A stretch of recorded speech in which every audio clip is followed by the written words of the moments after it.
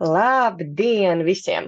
Uh, jā, uh, sveiki, mani sauc Anna, es esmu Zerojas Latvijas pārstāvis, bet šeit esmu uh, kā tīri labi projekta um, viena no vadītājām. Uh, mēs, mūsu biedrība kopā ar Zaļo brīvību, šo projektu realizē šajā gadā un tieši fokusējoties uz pašvaldībām un pašvaldību ilgspēju un aprites ekonomikas ieviešanu. Uh, jā, šodien mums ir trešā un noslēdzošā sarunu sesija par tēmu atkārtot lietošanu un depozītu trauki. Um, mazliet vairāk fokusēsimies uz glāzēm, bet uh, jā, mēģināšu jums šodien dot tādu nelielu ievadu. Um, pēc tam pēc maniem runās noteikti daudz, uh, teiksim tā, smagāki un uh, daudz datiem pilnāki uh, prezentētāji un uh, dalīsies savā pieredzē. Um, tā kā jā, sākšu ar to, ka dalīšos ar savu ekrānu. Uh, un sāksim šo te jauko dienu. Tā, vai viss ir redzams, kāds varētu pamāt galdu, kam ir ieslēgta kamera? Redzat mani un dzirdat superīgi. Nu jā, Tātad šodien esam tajā trešajā segmentā. Pirms tam runājām par bioatkritumiem, tad par apratīgām pašvaldībām kā tādām. Un tad šodien esam nonākuši līdz atkārtotajai lietošanai, kas visticamāk ir tāds interesants temats no pašvaldību perspektīvas, varbūt ne tik daudz skatīts, manuprāt, bet jūs droši man, mani labojiet, ja jūs pašvaldībās par to daudz domā un tiešām rūpējās. Uh, jā, tad šodienas plānā es tādu vieglu ievadu, uh, kā vienmēr nedaudz iedvesmot, nedaudz pabakstīt un uh, nedaudz uh, pastāstīt, kas tad ir tā atkārtotā lietošana, par ko mēs gribētu parunāt šodien. Uh, pēc manis runās Arita Smalkā-Burseviča, um, kura stāstīs par ZAU pieredzi, tātad kā viņi uh, savos plānos un ko viņi dara, ir ieviesuši atkārtotas lietošanas prakses. Vēlāk mana kolēģe Evija Ozola, Ozola stāstīs par mūsu jauno platformu lieto vēlreiz LV. Nesen palaidām, un Evī tad jums izstāstīs, kas tas ir un kā jūs, kā pašvaldības vai saistītie uzņēmumi, varētu no tās iegūt. Um, vēlāk Ilza Grīsla no Liepājas rases pastāstīs par krāmu kambars projektu un pieredzi stāstu, kā viņiem ir gājis un kā šobrīd iet. Nu, un tad, protams, noslēgumā Karīna Zvirbula, arī mana kolēģi no Zerovēs Latvija, uh, viņa pastāstīs par tādu patiešām iespaidīgu projektu, kas šobrīd ir vēl procesā. Viņa strādā pie pašvaldību vadlīnijām depozītu glāžu ieviešanai. Ko tas nozīmē? Mēs gribam palīdzēt pašvaldībām veidot šo te depozītu glāžu ieviešanu savos pasākumos, un Karina ir veikusi milzīgu darbu un izpētījusi, kā praktiski to jums izdarīt. Nu jā, īsumā tad šodienas plāniņš šāds. Uh, mazliet uh, pirms sākšu savu daļu uh, pāris noteikumu, tad šodien aicinu jūs iesaistīties. Tam priekš, priekš tam jums ir domāts chatiņš, un arī, protams, tad, kad būs beidzis runātājs stāstīt savu stāstāmo, droši ceļat rociņu vai rakstat čatā. Es palīdzēšu nolasīt jautājumus, ja negribat uzdot skaļi, vai arī varat paši uzdot skaļi mikrofonu, mikrofonu veidā. Un, ja paliks laiks, droši došu iespēju diskusijai. Katrs runātājs runās apmēram 20 minūtes. Es esmu ļoti strikta un uzņemšu laiku arī pati sev. Eh, un, eh, jā, droši es, esmu ļoti, eh, būšu ļoti priecīgi, ja jūs iesaistīsieties un dalieties arī ar savu viedokli, ne tikai ar jautājumiem. Šī ir tāda pieredzes apmaiņas tā kā sesija. Nu, lūk. Uh, Labi, nu tad es sākšu ar to savu tēmu. Un, tā man tēma ir, ko tad pašvaldībās vispār var lietot atkārtot un kā to darīt un ko tas vispār nozīmē. Un vienmēr liecies, ka svarīgi ir sākt ar tādu skaidrojošo elementu. Un um, šajā gadā, mazliet vairāk runājot ar pašvaldībām, um, mēs apjautājāmies, ko tad uh, pašvaldības no rīcības plāna aprits ekonomikas uh, ieviešanai ir daudz darījušas. Un šīs te atkārtotas lietošanas segments um, ir bijis mazliet atstāts novārtā. Es nebaidīšos šī vārda. Ļoti būšu priecīga, ja jūs kā pašvaldības dalīsieties ar savām pieredzēm, arī čatiņā, ko tad jūs tomēr darat un ko mēs esam palaiduši garām.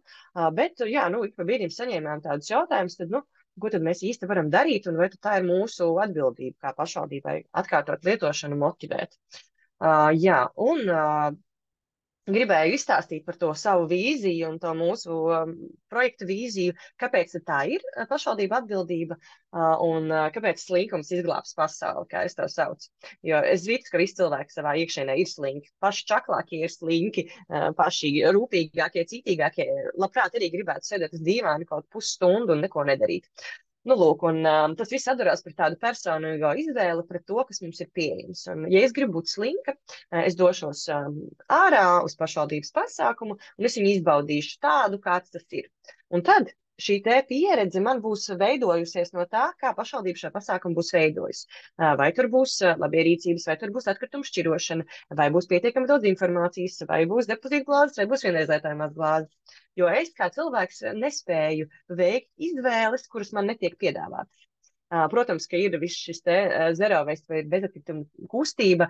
Es, piemēram, arī uz festivāliem eju pat ar savu depozītu glāzi, pat ja tur nav un tirgotāji ir atsaucīgi, bet tajā pašā laikā mm, es gribētu, lai cilvēkiem par to nav jādomā. Un es domāju, ka mēs katrs negribam nest līdzi šīs te uh, ekstra lietas un domāt, tā es tagad iešu tur man būs vajadzīgs tas. Uh, mēs gribētu, lai mums palīdz būt, palīdz ikdienu veidot ērtāku. Un, uh, tāpēc es aicināšu pašvaldības saprast un mēģināt izprast, kuras no šīm daļām, par ko mēs šodien runāsim, tiešām attiecās uz jums, uh, ko jūs varat ietekmēt jau tagad, vai rīt, vai nākamgad. Uh, un vai tiešām ir kaut kādi veidi, kā piedāvāt cilvēkam pieejamas alternatīvas tajā pašā laikā, izstāstot viņam, ka šīs alternatīvas eksistē, un varbūt kaut kādā veidā arī motivējot uzņēmumus, kas šīs alternatīvas spēj piedāvāt. Jā, nu, un stāstīšu tādu ļoti ātri pieskaršos četriem segmentiem, kas, manuprāt, pašvaldībās varētu būt aktuāli no atkārtotas lietošanas. Pirmais ir, protams, iedzīvotāju paradumu maiņa, kas ir liels un sāpīgs temats. Um, vienmēr domājam par atkritumu šķirošanu, cik grūti šo ir ieviest bijis, un kaut arī uh, ir bijusi paša pas šī savākšana bez maksas. Tas tāpat ir liels un smags pasākums.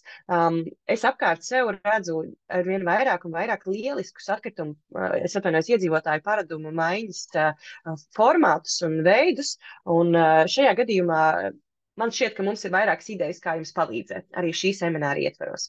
Mana kolēģe Evija noteikti vēlāk par vienu no tādām pastāstīs. Otrs segments ir pasākumi. Tad ir viss, kas notiek pašvaldības teritorijā, viss, ko kontrolējat jūs, kā pašvaldības darbinieki, gan saistošajos noteikumos, gan jūsu iepirkumos. Tas ir jūsu ziņā, un cik jūs būsiet drosmīgi, tik labi procesi arī šajos pasākumos var tikt ieviest. Trešais ir paškapitāls, jeb lietas, ļoti vienkārši tā saucot. Un um, šajā te segmentā noteikti ir um, kaut iekļājums arī kaut kādas motivācijas programmas vai pilotu projekti, ko um, pašvaldība spēj dot saviem iedzīvotājiem. Par to tad mazliet vēlāk. Un tad pēdējais segments mums ir uzņēmēji. Un uzņēmējs nekādā gadījumā nedrīkst aizmirst, jo viņi ir tie, kuri spēj ienākt un veikt šo te uh, saimnieciskās darbības lomu, ko pašvaldība nespēja vai ko pašvaldībai nevajadzētu darīt. Uh, attiecīgi arī tāda veida atbalsts ir svarīgs. Nu tad pa vienam mazliet un īsi. Iedzīvotāju paradumu maiņa uh, atkārtotā lietošanā slēpjas vietās, kur jūs varbūt par to negaidījāt. Un šajās lietās es iekļauju gan nomu, gan remontu. Uh, mēs pēdējā gada laikā, mani kolēģi no Zaļās brīvības, um, ir sazinājušies te jau ar visām Latvijas pašvaldībām, varbūt ar kādu no jums arī ļoti cerams, un runājuši par šiem nomas un remontu punktiem, kurus mēs vēlamies atbalstīt un kurus mēs gribam izcelt. Un uh, šajā gadījumā arī ir liels jautājums, kā tieši uh, no lielās. Valdības vai uh, likumdošanas perspektīvas mēs varam atbalstīt šos nomas un remonta pakalpojumus, jo tas arī iekļauj lietu atkārtotu lietošanu, lietu atgriešanu dzīvē un lietu dzīves ciklu paildzināšanu. Attiecīgi, šādi segmenti ir pavisam svarīgi, un par to būtu jādomā. Tad šodien par to arī mazliet dzirdēsim. Uh, tad ir tādi uh, gan iedzīvotāju iniciatīvas, gan nevalstiskā organizācija iniciatīvas, varbūt pat pašu pašvaldību iniciatīvas, kā mēs redzam, piemēram, Līvānu gadījumā un Kuldīgas. Um, ir šādas repērkafē, kur cilvēki mācās remontēt lietas, ir lietu bibliotēkas, kur cilvēki var paņemt lietas, ir brīvbodas, un nu, patiesībā iedzīvotāju paradumus mēs varam mainīt vis visādos interesantos veidos, mm, kas mums varbūt nešķiet tik acīm redzami. Jo man šķiet, ka tāds klasiskā pieeja ir, jā, re, kur mums ir komunikācijas kampaņa, re, kur mēs mēģinam informēt iedzīvotājus, bet man šķiet, ka praktiskā rīcība un tāds uh, cilvēku motivācija darboties vislabāk iet caur piemēru. Tad pirmā, pirmais segments atkārtotajā lietošanā ir iedzīvotāju pārdomu maiņa. Otrais ir šie pašvaldības pasākumi, un tas varbūt ir kaut kas tāds, kas jums skar visvairāk pašas. Um, tie ir gan koncerti, gan festivāli, gan pilsētas svētki. Katrai sev cienošai pašvaldībai katru gadu noteikti ir vismaz vieni lielie svētki, un noteikti pat daudz vairāk. Uh, Šajā te sadaļā atkārtot lietošana pilnīgi noteikti primāri var izpausties tieši uz traukiem, par ko šodien arī gribam parunāt. Un, um, mēs esam redzējuši jau daudz labus piemērus arī Latvijā, par ko šodien Karina pastāstīs. Un es domāju, ka jums ir daudz ko mācīties vienam no otra. Tajā pašā laikā joprojām ir kaut kāda spēlēkās zonas likumdošanā, kur īsti nav saprotams, kā to sakārtot, vai tas tiešām ir izdevīgi, vai tas nebūs šausmīgi dārgi un grūti. Tā kā šodien varbūt Karina mazliet mēģinās jums palīdzēt šo pastāstot. Tad, protams, ir visādas mantu maiņas un kopienu atbalsts un uh, visādas arī ir tieši ar iedzīvotāju paradumu maiņu saistīti pasākumi, um, ko jūs varat darīt. Izstāstīšu tādu ārpus kastes piemēru, kas Latvijā vēl nav realizēts, bet es ļoti, ļoti gribētu realizēt. Ja kāda pašvaldība vēl sadarboties, es esmu atvērta. Mm, es nezinu, vai esat dzirdējuši, bet ārzemēs notiek tādas lietas kā autiņbiksīšu bibliotēkas. Attiecīgi, tas ir atbalsts jaunajām māmiņām, kur pašvaldība eh, dod eh, nomā vai bez, bezatlīdzības eh, lietošanā daudzreiz lietojamās audiņmiksītes, tad mazgājumās, kas ir brīnišķīgs atspējas gan uh, cilvēkiem, kam nav tik daudz līdzekļu, lai iegādātos šos pamperus pietiekamā apjomā, uh, gan arī tas ir vidē draudzīgs risinājums. Un ir ārzemēs piemēri, kur šādi projekti sākās ar pašvaldības iniciatīvu, un mm, beigu galā tas caur kaut kādiem um, projektiem vai pilotprojektiem un uzņēmumiem kļūst par īstu biznesu. Tā kā patiesībā at atkārtot lietošana slēpjas ļoti pārsteidzošās vietās, ko jūs pat varētu neiedomāties līdz šim. Uh, jā, nu jā, protams, šie saistošie noteikumi un projekti, ir uh, ļoti svarīgi, jo vienmēr ir ir bailīgi. Ir bailīgi lekt eh, nezināmā zonā. Uh, ir liels diskomforts, ir sarežģīti saprast, kas, to, kas ietekmēs. Attiecīgi, mēs ļoti aicinām dalīties ar kontaktiem un tiešām klausīties tajos pieredzes stāstos, ko jūs šodien redzēsiet un dzirdēsiet, un varbūt dalēties arī čatā ar savu pieredzi. Jā, nu šis segments man sagādāja visvairāk grūtības, tā kā es pati neesmu pašvaldības darbinieks, bet esmu runājusi ar daudziem no jums. Tā paša iegādātās lietas arī var nodot atkārtotā lietošanā, bet tas, protams, ir ļoti sarežģīti, jo ir tādi divi vārdi, kas saucās lietderības princips. Nedrīkst izšķērdēt, nedrīkst uh, dot tāpat vien. Uh, mēs redzam situācijas, kur pat projektos iegādātas lietas, kuras ir tiešām paredzētas lietu atkārtotai lietošanai, ir bloks viņas dot tālāk iedzīvotājiem, jo ir kaut kādas vai nu grāmatvediskas vai juridiskas problēmas ar šo. Bet uh, es tāpat gribētu uzsvērt, ka, manuprāt, pašvaldības var atbalstīt uh, daudzos citos uh, atkārtotas lietošanas veidos uh, tās lietas, kas viņiem ir, Tās var būt arī telpas, tas var būt arī inventārs, kas jums ir.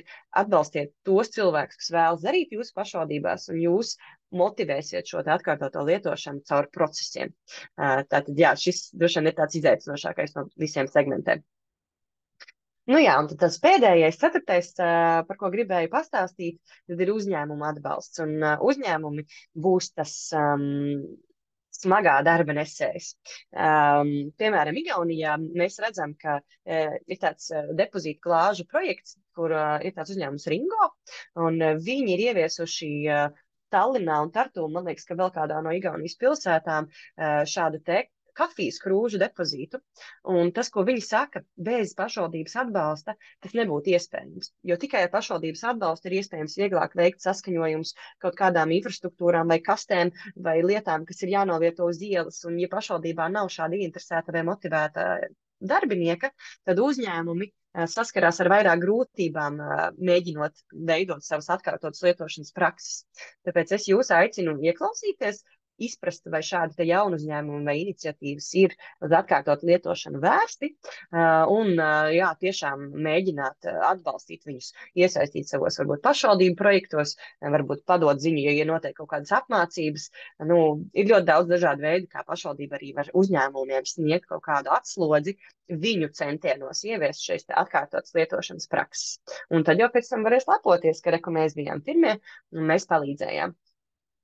Nu jā, tāds ļoti īsts tāds pārskats, absolūti viegls bez datiem. Vēlāk datus mazliet parādīs mana kolēģi Karina, bet jā, tas tāds īsumā jums ieskats, ko mēs šodien saprotam ar atkārtot lietošanu, un varbūt mani kolēģi un pārējie runātāji citi arī pastāstīs mazliet vairāk.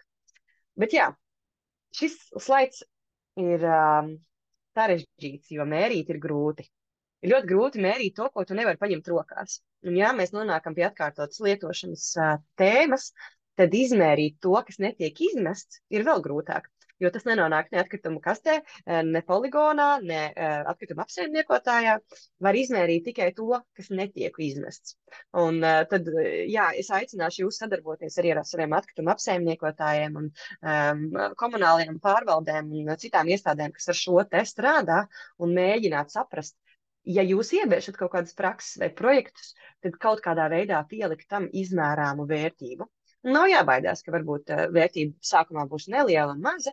No tās var, varēs daudz mācīties un varēs iegūt arī kaut kāda veida uh, pieredzi priekš citiem vai nākamajām reizēm. Ja sniedzat atbalstu uzņēmumiem, piefiksējat, dalieties, stāstat. Uh, nav jākautrējās par to, ko jūs darat, un es tiešām novērtēju jebkuru kaut pašu mazāko iniciatīvu no pašvaldību puses. Nu jā, mans ievads īsumā ir beidzies. Šodien, no šodienas sagaidu tiešām interesantu pieredzes apmaiņu. Sagaidu sarežģītus jautājumus, uzdodiet tiešām āķīgas lietas. Es tītīgi visu pierakstīšu un mēģināšu saprast, kā varu palīdzēt jums sniegt, saņemt atbildes pat tad, ja mēs šodien viņas nevarēsim rast mūsu lokā. Un, protams, apmainieties ar kontaktiem, piefiksējiet runātājus un jā, centieties iegūt no šodienas labāko iespējamo. Nu jā, tad jau droši vien uh, došu tālāk vārdu mūsu pirmajai runātājai. Arī tie ir sagatavojusies un uh, redzam ekrānā. Sveika, Arita, vai mēs tevi dzirdam? Sveiki! Sveika! Jā, pilnu ekrānu. Jā, viss notika tā labi. Un es pabrīdināšu 5 minūtītes pirms laika beigām. Ja nu, ja nu sanāks tāda situācija, tad dzirdēsim mani. Lūdzu. Jā, pateicos. Uh, Tad es šodien gribu padalīties ar uh, Sijā Zau pieredzi lietu atkārtotā izmantošanā, cik nu mēs šobrīd jau esam izdarījuši šajā te lauciņā. Taču mums vēl ļoti liels darbs ir uh, priekšā, lai mēs uh, jau vairāk virzītos arī tā kā Anna stāstīja uz šiem lielajiem mērķiem. Un piekritīšu, jau arī kā Anna minēja, ka tieši šī paraduma maiņa ir viens no virzītāja atslēgas vārdiem, lai mēs vairāk arī ar sabiedrību kā, strādātu un mācītu šo te atkārtoto izmantošanu. Jo atkārtot izmantošana būs tiešā veidā saistīta tieši ar samazināšanu, ar, ar atkritumu neradīšanu.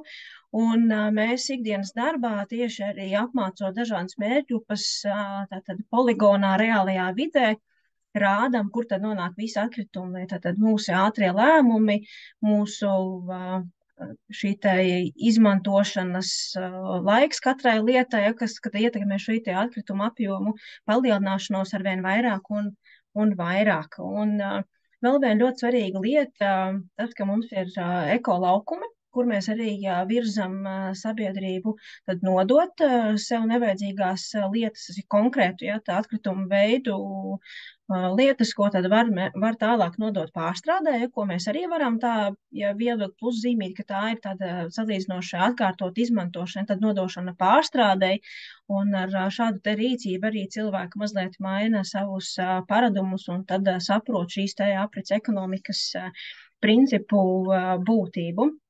Un uh, mūsu jaunums, kas ir ļoti labi arī mūsu cilvēku vidū darbībā aizgājis, ja tā var teikt, aprites skapis, ko mēs esam izstrādājuši arī projektā sadarbībā tieši ar Tīri Labi. Un esam izveidojuši divus aprites skapjus, kas ir izvietoti divos mūsu ekolaukumos, kur attiecīgi laukuma apmeklētāji var atnest tad konkrētas mantas ievietot šajā skapī, kas viņiem vairs nav vajadzīgas, un savukārt kāds cits laukuma apmeklētājs var ielūkoties skapī un uh, ieraudzīt kādu no šīm lietām, kas viņam ir derīga, vajadzīga saimniecībā, vai sen jau meklējis, bet negājis uz veikalu iegādāties jaunu, tad var no šī skapja paņemt. Un aprunājoties ar kolēģiem, arī jāsaka, ka ekoloģija apmeklētāji izmanto šo iespēju, ielūkojas skapī un, un arī ļoti bieži paņem kaut ko sev sev līdzi. Tā kā mēs eh, tieši tādā testa versijā strādājam tieši ar diviem aprits skapiem jau kopš oktobra un, eh, un skatīsimies, kā šādus te mini skapjus izveidot arī citos laukumos un dodot iespēju arī citu pilsētu iedzīvotājiem. Un turpinot šo te aprites eh, ideju, šobrīd mēs esam procesā ar tādu lielu aprits ekonomikas centru izveidi, kas būs kā šķirot atkritumu savākšanas komplekss, kas iekļaus gan šo te aprits centru, kur tiks labotas lietas, ko cilvēki būs atnesušas, lai tālāk nodotu atkal apritē, kas būs tāds tiešais šī te atkārt, lietu atkārtot izmantošanas punkts, tā teikt, un arī viedais eko laukums, ja, kur tad arī varēs nodot sev nevajadzīgās lietas, kas būs derīgas pārstrādē. Un šis te projekts mums top uh, Life integrētā projektā ietvarās, kur mēs esam arī ar vairākiem partneriem kopā, kuri tad virza, virza šīs te apritīgās uh, idejas uh, tālāk. Un kā jau arī iepriekš minēju, mēs uh, mērķiecīgi strādājam ar dažādām mērķgrupām. Mums ir uh, dabas un tehnoloģija parks Urda blakus poligonam, kur mēs uh, ar īpaši izstrādātām programmām, apmācību tēmām strādājam gan ar skolēniem, gan jauniešiem, gan pieaugušiem, gan arī pašiem mazākajiem, lai tad virzītu šai te apritīgai rīcībai, atkārtot lietu izmantošanai, neradīšanai un atkritumu samazināšanai, jo, kā zināms, 2035. gadā drīkstēs apglabāt tikai 10% no kopējā atkrituma daudzuma, kas ir ļoti, ļoti mazs procents, un mums ir ļoti daudz vēl kopā visiem jāstrādā, lai sasniegtu šos izvirzītos mērķus un, un turpinātu kļūt vidē draudzīgi un ievērot aprits ekonomikas principus. Tas tādā īsumā no manis viss. Varbūt ir jau kādi jautājumi. Lieliski, paldies, arī tā, ļoti ātri izskrēja cauri jūsu darbiem, bet man liekas, ka jūsu darbs šobrīd tieši saistībā ar Life projektu arī ir ļoti liels un procesā. Um, es uh, zinu, ka tā, mēs sarunājāmies, lai mēs uh, šodien uh, vienotos par šo sarunu, uh, tad jūs tā ļoti pieklājīgi gribējāt par to nerunāt. Un, uh, tas, uh, tas Life projekts, man liekas, arī tiešām pieminēšanas vērts, jo um, tas dod iespēju, manuprāt, arī ļoti daudziem uzņēmiem, tāpat kā jums, uh, palīdzēt un attīstīt šīs savas aprits ekonomikas idejas. Uh, bet mans jautājums ir, uh, uzdošu pirmo, kamēr kāds vēl ieraksta čatiņā kādus jaunus jautājumus, uh, tad, um, jā, par šiem aprits skapiem. Man, protams, tas interesē. Um, ja es strādāju kādā citā pašvaldībā, uh, kas strādā ar jums, kā mēs varam tikt pie šādiem te skapiem? Vai mums jāzvana jums, vai jāraksta, vai tur vajadzīgas investīcijas? Kā jūs šo realizējat? Tad šis konkrētais uh, skapju projekts mums tapa vienkārši uh, Cēsu pašvaldības uh, projekta ietvarā. Tas bija mūsu izmēģinājums, un šobrīd mēs nepraktizējam, ka mēs šos skapjus uzstādām kādam citam. Tas bija mūsu, tādu, mūsu iniciatīva un radās iespēja, kā mēs to varam ar projektu palīdzību realizēt tas tāds uh, testa variants, un mēs ļoti labprāt dalāmies pieredzē un varam pakonsultēt, ja kāds grib realizēt savā pašvaldībā vai, vai izglītības iestādē vai jebkur citur šādu iniciatīvu. Tā kā tas ir mūsu projekts, mēs nepiedāvājam šādu pakalpojumu realizēt šo projektu citiem. Mēs varam sadarboties, palīdzēt, tas ir pagaidām. Ja skatīsimies, kā tas viss virzīsies uh, tālāk uz priekšu. Labi, mums ir čatā ienācis jautājums arī par šo skapi. Jautājums ir, varbūt jūs varat padalīties savu pieredzi, cik tad apmēram uh, izmaksā šāds aprits skapja izveide? Um, es nenosaukšu konkrētas uh, izmaksas. Uh, man kolēģi bija iesaistīties, pēc tam Anna varbūt var tev nosūtīt uh, apkopojumu, bet tas bija mazais projekts, un mēs mēģinājām izmantot lietas, ko mēs varam izmantot otrais. Respektīvi, atgriezumus no koku materiāliem izmantot varbūt stiklu no, no kādas skapja durvīm un tā tālāk, lai mazāk iegādātos jaunus materiālus šī skapja izstrādes procesā. Jā, ļoti jauki. Evīte tieši arī raksta čatā par to, ka meistari esot veidojuši no otrreizējiem materiāliem. Cik es saprotu, tā ir taisnība. Ja? Jā, tā, tā, tā bija tā mūsu filozofija, kad jau radot skapi, parādīt, ka mēs varam izmantot jau esošus materiālus, neiegādāties no jauna, atrast, ieraudzīt, ka mums ir šis materiāls. Protams, vieglāk vienmēr ir nopirkt jaunu. Uh, Bet mēs gribējām arī tiem cilvēkiem, kas nāks uz šo skapi un, un skatīsies un, un, un izmantos, jau parādīt, ka mēs daudz ko varam jau radīt no tā, kas mums ir pieejams mājā, uzņēmumā, pašvaldībā, tādā veidā, izmantojot visus resursus. Ļoti jauki. Man liekas, ka tas arī ir tāds um, ja tu dari, tad tu dari līdz galam. Tad um, tiešām šādu aprits skapi nevis pirkt vai kaut kādā veidā ieviest no kaut kā, kas ir iegādāts, uh, ļoti laba iniciatīva. Ir vēl viens jautājums uh, no līgas. Uh, cik procenti no kopējā atkrituma daudzuma tiek noglabāts Daibas poligonā? Uh, tāds jautājums. kopējais atkritumu daudzums, cik noglabāts. Te man būs jāpaskatās dati, jo tas ir ļoti mainīgi. Jāsaka, es neesmu paskatījusies pēdējos, pēdējos mēnešus, ja konkrēti es varu atbildēt pēc tam uz, uz līgas mm -hmm. jautājumiem. Es domāju, ka uh, foniņā, kamēr kāds runātājs runā, ja izdodas uzrakstīt čatā atbildi, tas, protams, būtu ļoti jauki, uh, lai mums veidojas kaut kādā veidā šeit saruna, un uh, droši vēlāk varam teikt. Vai vēl kāds vēlas uzdot arī teikt kādu jautājumu? Jo, ja nē, tad es teikšu lielu paldies. Ja kādam kāds jautājums procesa dienas gaitā vēl rodās, droši rakstiet čatā, varbūt arī atbildēs. Ja nebūs uz vietas, tad es nodošu jautājumu tālāk. Tad es lūkšu mūsu nākamo runātāju, vai Evija ir šeit? Jā, jā. labdien, priecājos iepazīties. Droši vien ar mani nē, tā kā esam kolēģis, bet um, Evija ir mūsu Zeravais Latvija tieši šī te Life Waste to Resources projekta vadītāja. Un Evija jums pastāstīs par uh, mūsu projekta sadaļu, kas saucās Lietuva vēlreiz. Evija, vai tu vari pamēģināt nošērot savu ekrānu un prezentāciju? Jā. Jā, ceru, ka varat jau redzēt. Vai tā ir? Varam, vēl fullscreen trūkst. Jā, jā. Nu, burvīgi. Priecājos iepazīties. Mans vārds ir Evija Ozola Ozoliņa.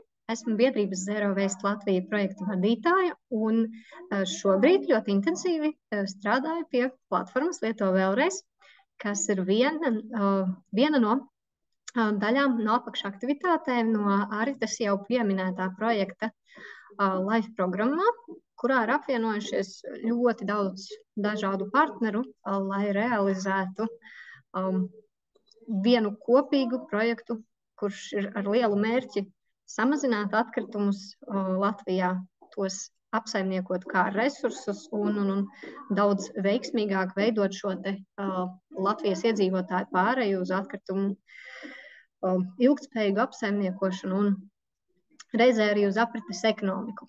Bet, jā, stāstīšu vairāk par pašu platformu un gribētos likt to fokusu uz tām iespējām, kuras mums ir tieši pašvaldībām caur šo platformu. Tā. Problēma, ar kuru, kā jau mēs minējām, cīnāmies, ir atkritumi. Un pēdējo desmitgažu pieredze, pieredze pierāda, ka atkritumu šķirošana vien nav nekāds risinājums, un mums ir vajadzīgāki kompleksāki risinājumi. Un tas, uz ko šobrīd savas, savas pūles ir likuši daudzi partneri, kas ir apvienojušies Life projektā, ir uh, aprites ekonomikas principu ieviešana daudz un dažādos veidos un dažādās, dažādās kopsadarbībās. Bet jā, viss tas, ko Life projekts atkritumi kā resursi Latvijā, reģionāls ilgspējīgas veicināšana, ievieto, ieviešot atkritumu kā resursu izmantošanas koncepciju, viss tas, ko šis projekts dara, ir ciešā sazobē ar dažādiem Latvijas un Eiropas Savienības strateģiskajiem plāniem, Un uh, šeit arī ievietoju atsauci uz tiem, bet uh, vairāk tiem nepieskaroties, um, vienkārši dalīšos ar šo uh, prezentāciju ar jums vēlāk, un tas viss būs pieejams.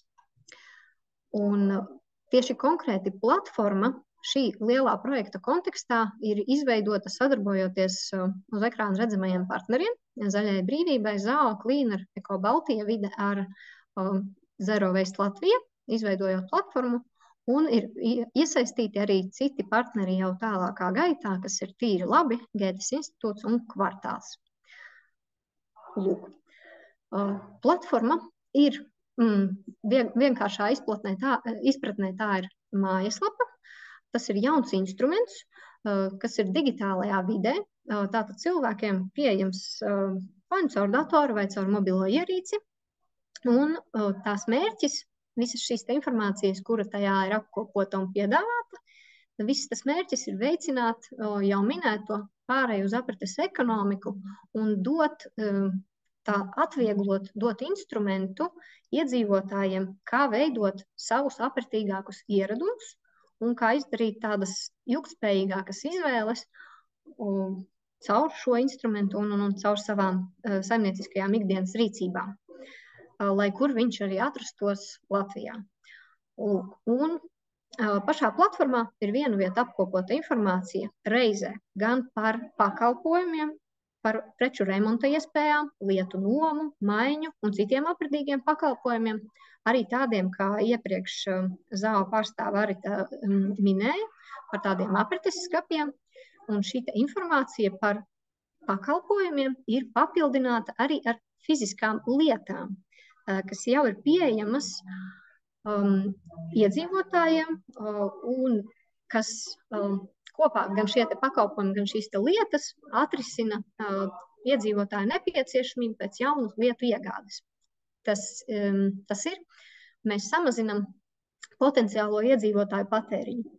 Un kā jau Anna iepriekš minēja, ir diezgan grūti novērtēt um, apjomus kaut kam, kas nav radies, bet uh, viegli, vieglāk izmērīt to, kas ir novērsts un kas ir tāds fiziski saskaitāms un, un aprēķināms.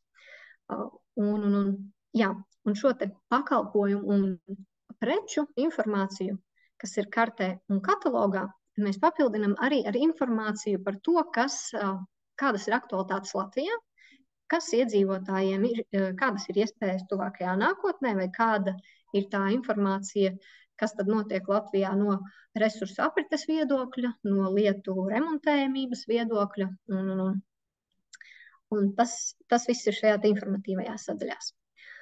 Un kopumā šīs te, varētu teikt, trīs bloki - lietas, pakalpojumi un informācija - kopumā platformā ir um, izveidota tā, lai būtu tilts iedzīvotājiem starp viņa vēlmēm, ar, un šis tilts savestu kopā iedzīvotāju ar organizāciju, kurās tās vēlmes var realizēt.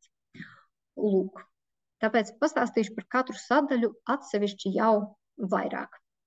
Um, lietu katalogs, manas jau minētās preces, uh, šajā katalogā ir atspoguļotas uh, tieši no uh, šobrīd diviem partneriem. No Sijā Cleaner, kas ir izveidojis lietu, uh, remontlietu un būvmateriālu aprites punktu Latvijā, Stopiņu pagastā. Un Gētes institūts ir izveidojis lietu bibliotēku. Un abas, abi šie partneri, kas ir mūsu pirmie partneri platformā, kas ir atvērta tikai no 1. novembra, viņi ir sagatavojuši informāciju par precēm, kuras bez maksas ir pieejamas iedzīvotājiem un kuras aizstāja nepieciešamību iegādāties šādas lietas, lietu, tātad lietu bibliotēkas veidā vai saņemot tās bez maksas. Un reizē arī šajā piemēram, klīneru centrā ir iespēja arī nogādāt kādas lietas, kas pašam vairs nav vajadzīgas un kuras vienkārši žēl izmest atkritumos. Un, un, un labi arī vien ir, ka rodas šī doma to nodot kādam citam, nevis izmest. Un, ja ieejam iekšā pašā katalogā, preces tur ir redzamas um, gan vizuāli, gan apraksta veidā. Un ir iespēja filtrēt pēc kategorijām. Ja mani, piemēram, interesē kaut kas dārzam vai hobijiem, tad es tieši šajās kategorijās ieskatos ciešāk.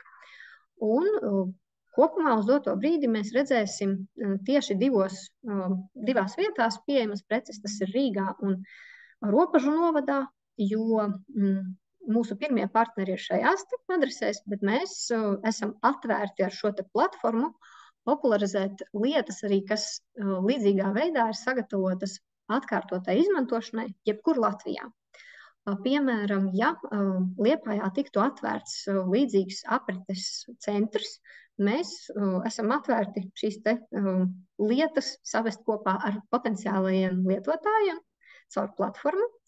Un, jā, un tuvākajā laikā mūsu partneri būs arī Sijā Zao, kad būs izveidots arī tas jau minētais aprites centrs un Eko Baltija vide, kas šobrīd strādā pie elektronikas remonta centra. Un, un, un, jā, un jebkura pašvaldība, kurai rastos šāda ideja savā novadā, būs, jebkurai šādai pašvaldībai būs iespēja izmantot platformu, un mēs piedāvājam tādu administratīvo un tehnoloģisko risinājumu šādam katalogam. Lūk, bet uh, vairāk atkal par otru sadaļu, par pakalpojumu karti.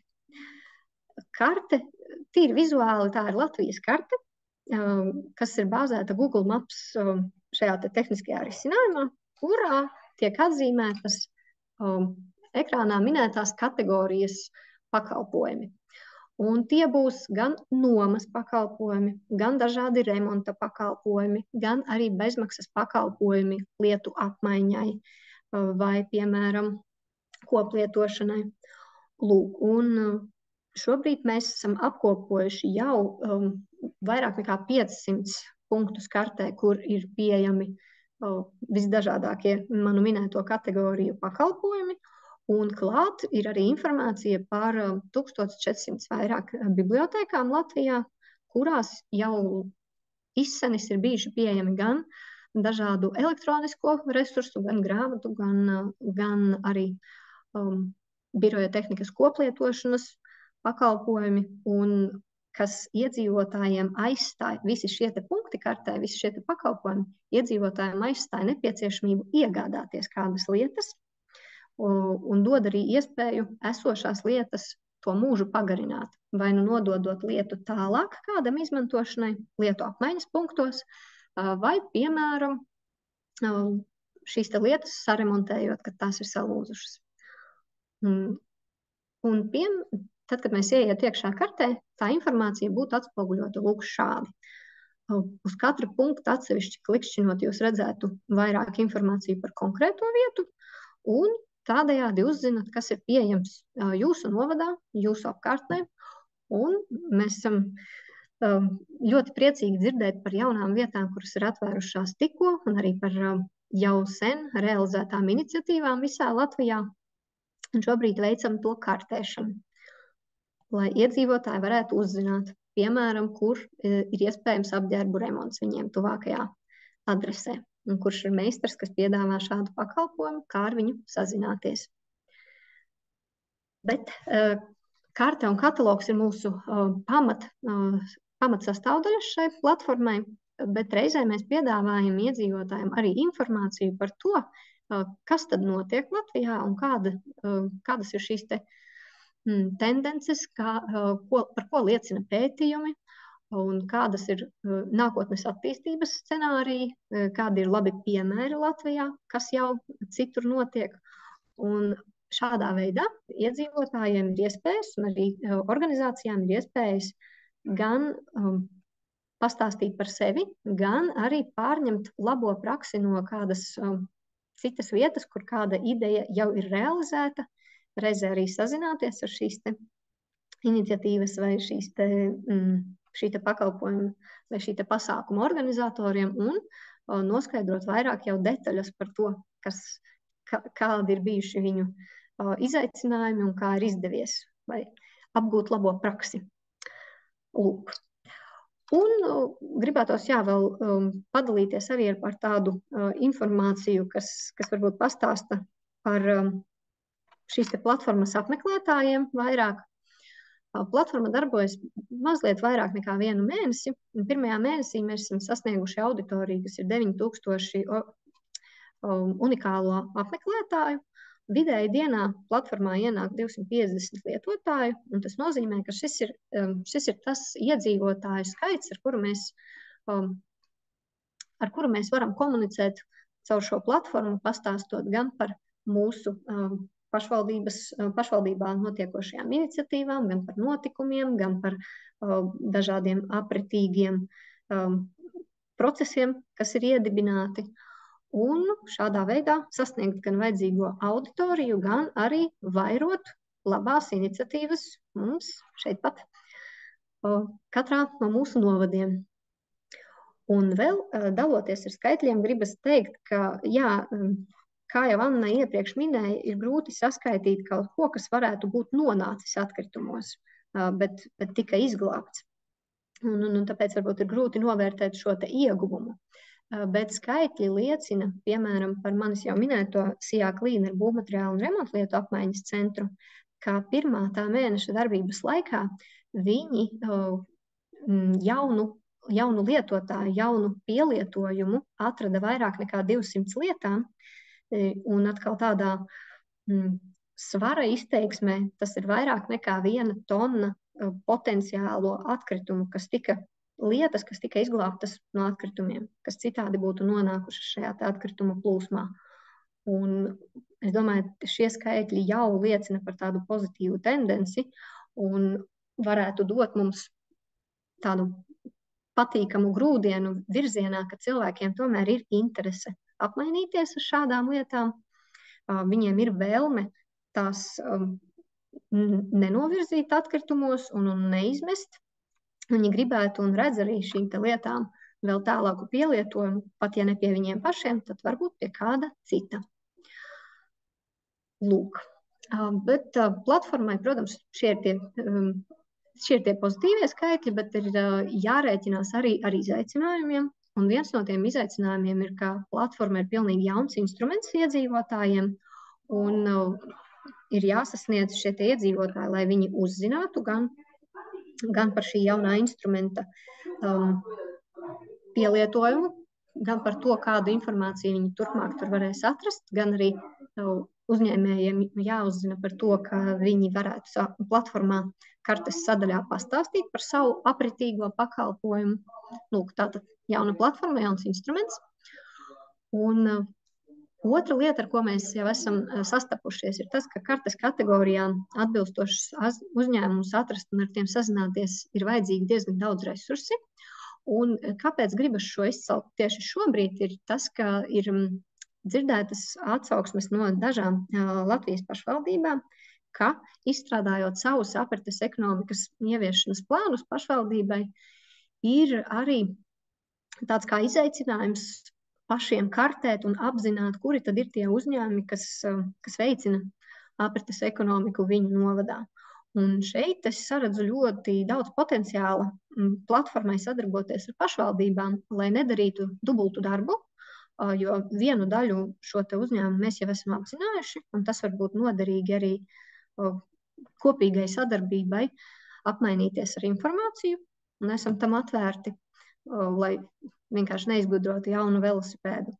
Un arī tīri tehnoloģiski šī platforma un šī karte, viņa ir brīvi pieejama, un tas ir bezmaksas rīks, un jebkura pašvaldība šo platformas karti var izmantot arī savai informācijas iegūšanai un, un apritei. Un, uh, trešais izaicinājums ir arī tas, ar ko burtiski šodien jau ir nācies saskarties, ir to, ka iedzīvotāji dažādos Latvijas reģionos uzdod jautājumu, nu, kāpēc visas kataloga preces, um, kāpēc viss tas ir pieejams Rīgā, tikai Rīgā. Un šeit man ir dažādas atbildes atkarībā no tā, no kurienes iedzīvotājs jautā. Es, es novirzu arī šo te, šos te jautājumus arī uz karti, jo viena daļa lietu apmaiņas šādu aktivitāšu jau ir pieejamas dažādās pilsētās, dažādos novada centros un, un, pašvaldībās. Bet uh, ir, ir arī, protams, tādas uh, pašvaldības, kurām vēl nav, tāda, nav iedibināta lietu apmaiņa, un, diemžēl, nav arī tāda piemēra, uz kuru kartēs varētu norādīt.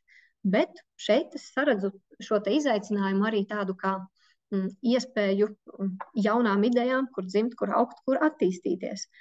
Un, ja kādā mm, pilsētā vēl nav šādu aprites skapju, par kuriem stāstīja, vai šādu līdzīgu iniciatīvu, kā ir krāmu kambarā, par kuru jūs vēl tikai šodien vēlāk vairāk uzzināsiet, tad ir iespēja to vēl tikai iedibināt. Un iedibināt varbūt pat jau ņemot vērā citu organizāciju gūto pieredzi.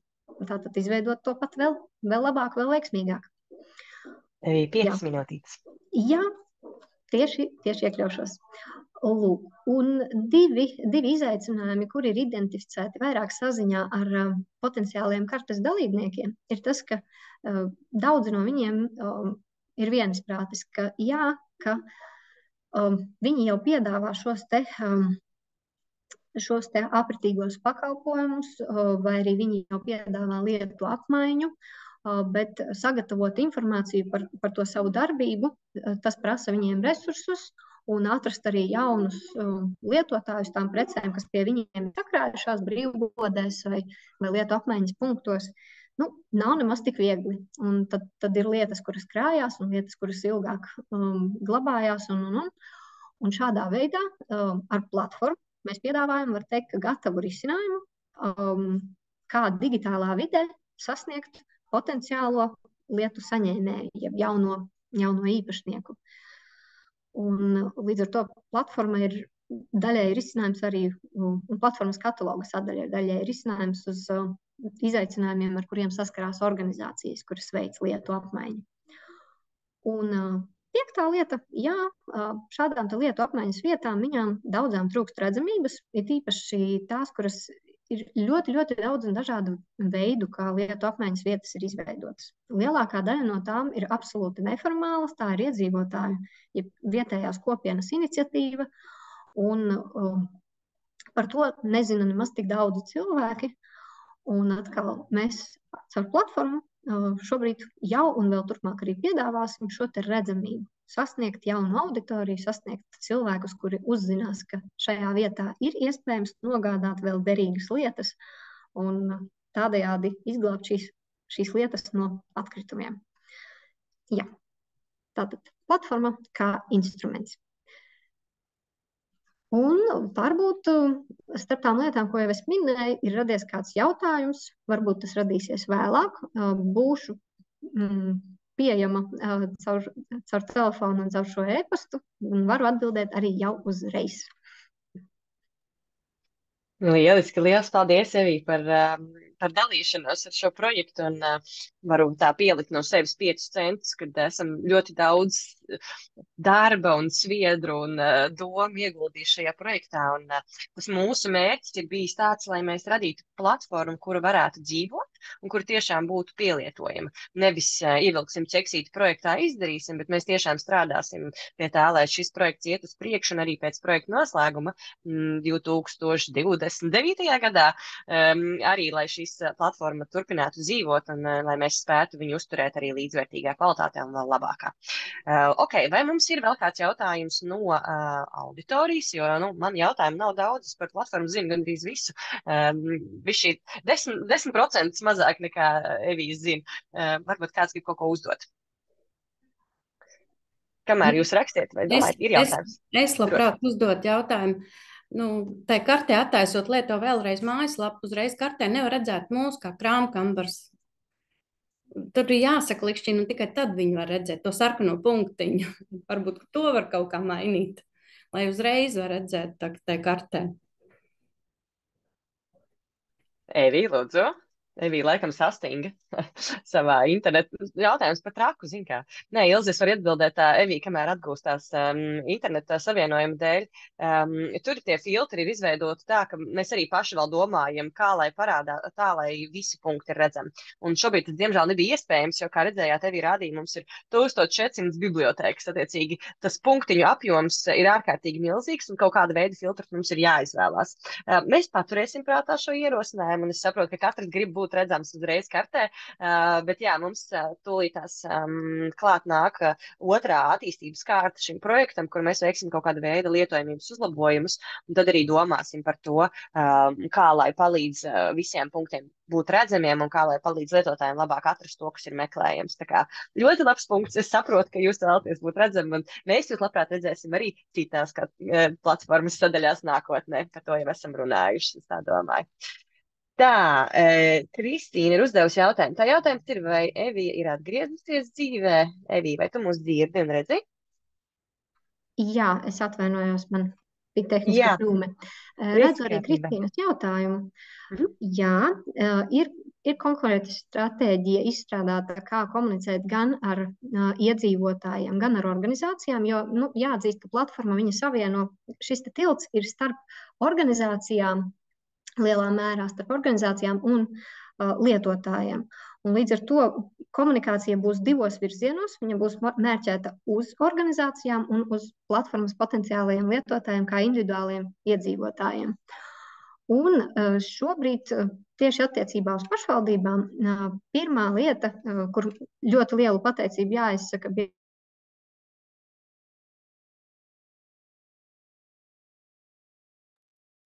Tā, man laikam, es neesmu vienīgā, kam apturējās. Vai? Jā, Evija grib izteikt kādam pateicību, un to mēs šobrīd nekam neuzzināsim. Sagaidīsim, sagaidīsim Eviju, Eviju atpakaļ. Uh, varbūt par to laiku ir vēl kāds jautājums vai komentārs uh, no, no, no, no auditorijas. Jā, kamēr gaidām Eviju, es varbūt varētu lūgt cilvēkus, kas ir pievienojušies tagad vai mazliet pa vidu, ja jūs varētu pierakstīt pie saviem vārdiem klāt pie Renējuma organizāciju, ko jūs pārstāvat, tas būtu ļoti noderīgi, lai arī mēs zinām, no kādas organizācijas vai pašvaldības vai uzņēmuma vai individuāli jūs pārstāvat. Tas vienkārši palīdzēs mums tīkloties un saprast, kas tad ir mūsu apmeklētāji. Jā, kamēr Evija vienojās atpakaļ, um, izmantošu iespēju, ka zinu arī pastāstīt, palīdzēt uh, par šo tēmu. Evija, ko līdz tu pievienojies ar skaņu, droši saki, pārņems runu. Uh, bet jā, mums ir komunikācijas jā. plāns. Evija ir atpakaļ. Jā. Super. Nezinu, kurā brīdī es pat pārtrauku. Tu gribēji kādam teikt pateicību lielu, un to mēs nedzirdējām. Jā. Labi, pateicība uh, zaļai brīvībai, jo viņi ir mūsu mm, sadarbības partneris komunikācijā arī ar pašvaldībām. Un pašvaldībās mēs šī gada vasarā uzsākām šo te informēšanu par to, kas ir Lietuva vēlreiz un kā mēs kopā varētu strādāt. Un šeit ir ļoti dažādi pašvaldību darbinieki, gan vides jomā, kas darbojas, gan sabiedrisko attiecību jomā, gan uzņēmēju darbības atbalsta sfērā, kuri atkarībā no pašvaldības darbu sadalījuma specifikas, kuri tad ir līdz šim iesaistījušies ar mums saziņā un arī turpmāk saņems informāciju par projekta gaitu. Jā. Nu jā, tad, ja, ja ir kāds, kas vēl vēlas iesaistīties, tad droši varētu sazināties ar manu norādīto e-pastu. Un, jā. Un, Evī, varbūt izstāsti vienā teikumā, kamēr mums ir vēl viena minūte, um, komunikācija. Tad, tad mums ir arī komunikācijas plāns, pareizi?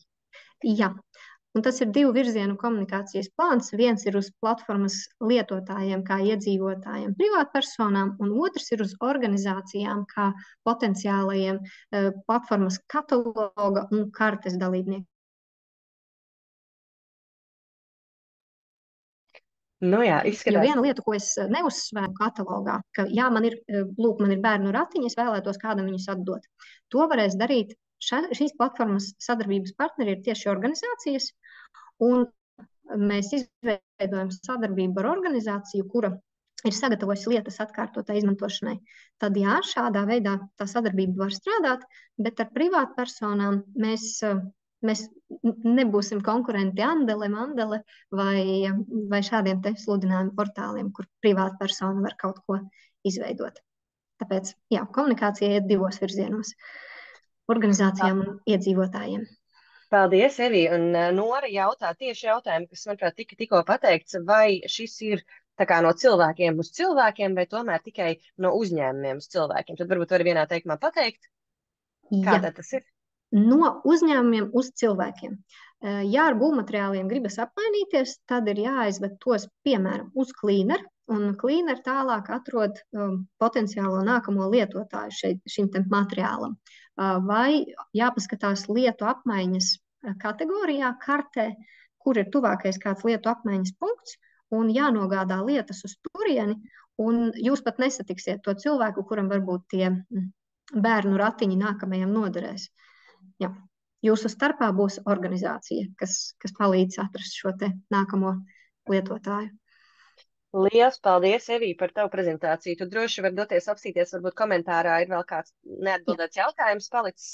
Um, aicinu uzdot arī citus jautājumus Evijai komentāru sadaļā, bet tagad mēs varētu doties pie nākamā mūsu runātāja. Ilze, vai tu esi gatava? Esi gatava, super. Mēs tev vēl nedzirdam, tā līdz dzirdēsim. Esmu gatava, jā, tūlīt no šādi. Burvīgi gaidām tavu prezentāciju. Ilzi mums stāstīs par to, kā krāma kambaram iet un ko tas vispār nozīmē uh, tieši no organizatoriskās un idejas puses. Ļoti gaidām.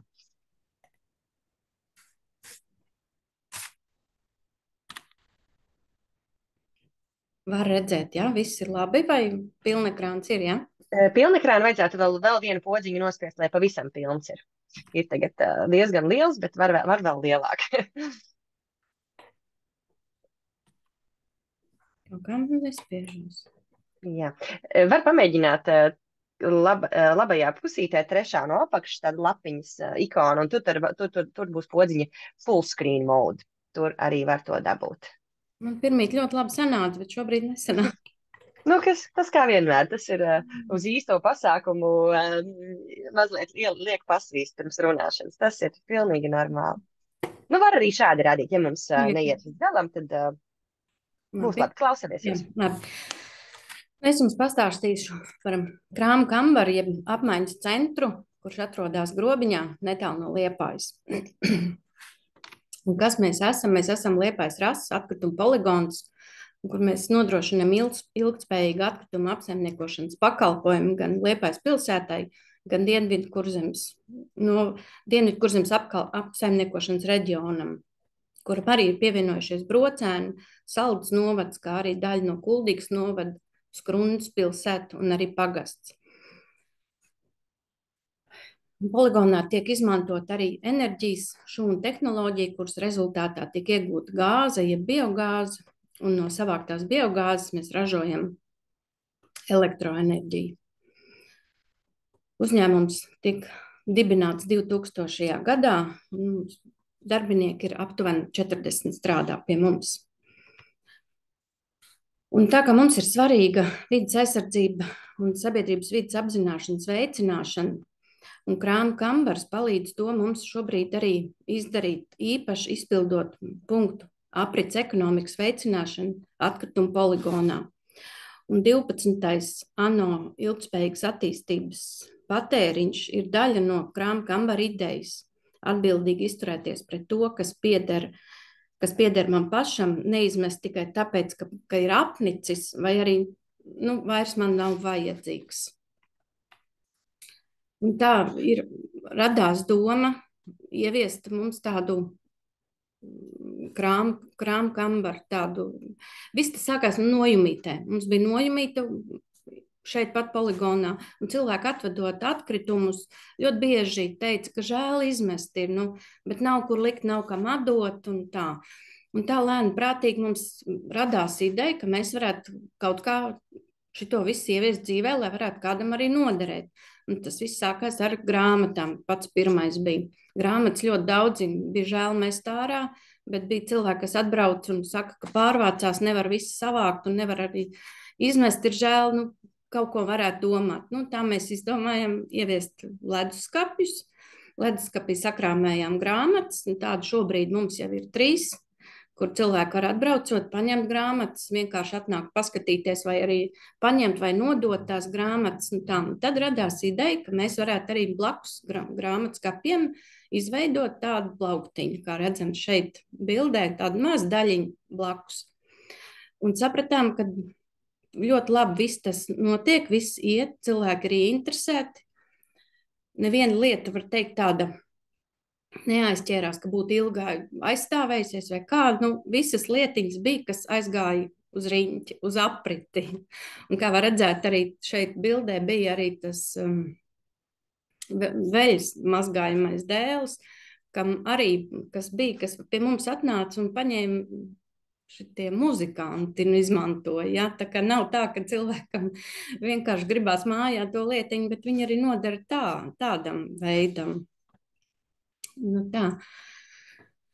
Un tālāk mēs nopirkām jūras konteineru. Jūras konteinerā mēs uh, uzlikām kupolus, lai dienas laikā nevajadzētu gaismu slēgt iekšā. Pieaicinājām mūsu no liepājas mākslinieku, kurš mums uzbūr tik skaistu ainu, nokrāsoja to konteineru. Tā. Un pieņemam mēs mantas, dažne dažādas, bet ar nosacījumu, ka viņas ir labas, lietojamas, viņas nav saplēstas, viņas nav netīras. Un vislielākais apgrozījums šobrīd, var teikt, ir, ir traukiem. Trauks prasa, traukus grib, traukus ved, un trauki, trauki iet tiešām apritē. Dažne dažādi, gan arī tādi veco laiku, kas bija šomītēm, tādi trauki ir, gan arī tādi labi, nu tādi, nu nevis labi, bet um, nu tagad nopērkam trauki arī, ja. Un tā, un bērnu preces, ļoti, ļoti iet apritē arī bērnu preces. Tās ir pašsējošākās preces, bet ir arī citas, viss citas, kas mums iet arī. Nu, ja te jau es pastāstīju par tām precēm visām, un, un, un krāmkambarī mēs no pagājušā, no, no šī gada sākuma ieviesām arī būvniecības lietas centriņu, tādu maziņu. Un tur mēs, tur šajā momentā ir aizgājušas, pret, bijušas arī preces, tapetes, žalūzijas, ir bijušas arī no jumta vēl tādas, ko liek uz jumta, dak, ne dakstiņi, bet kā viņi īsti saucās, es nezinu, tādas reģipšu gabali bijuši. Patiesībā neviena lieta mums nav aizķērusies.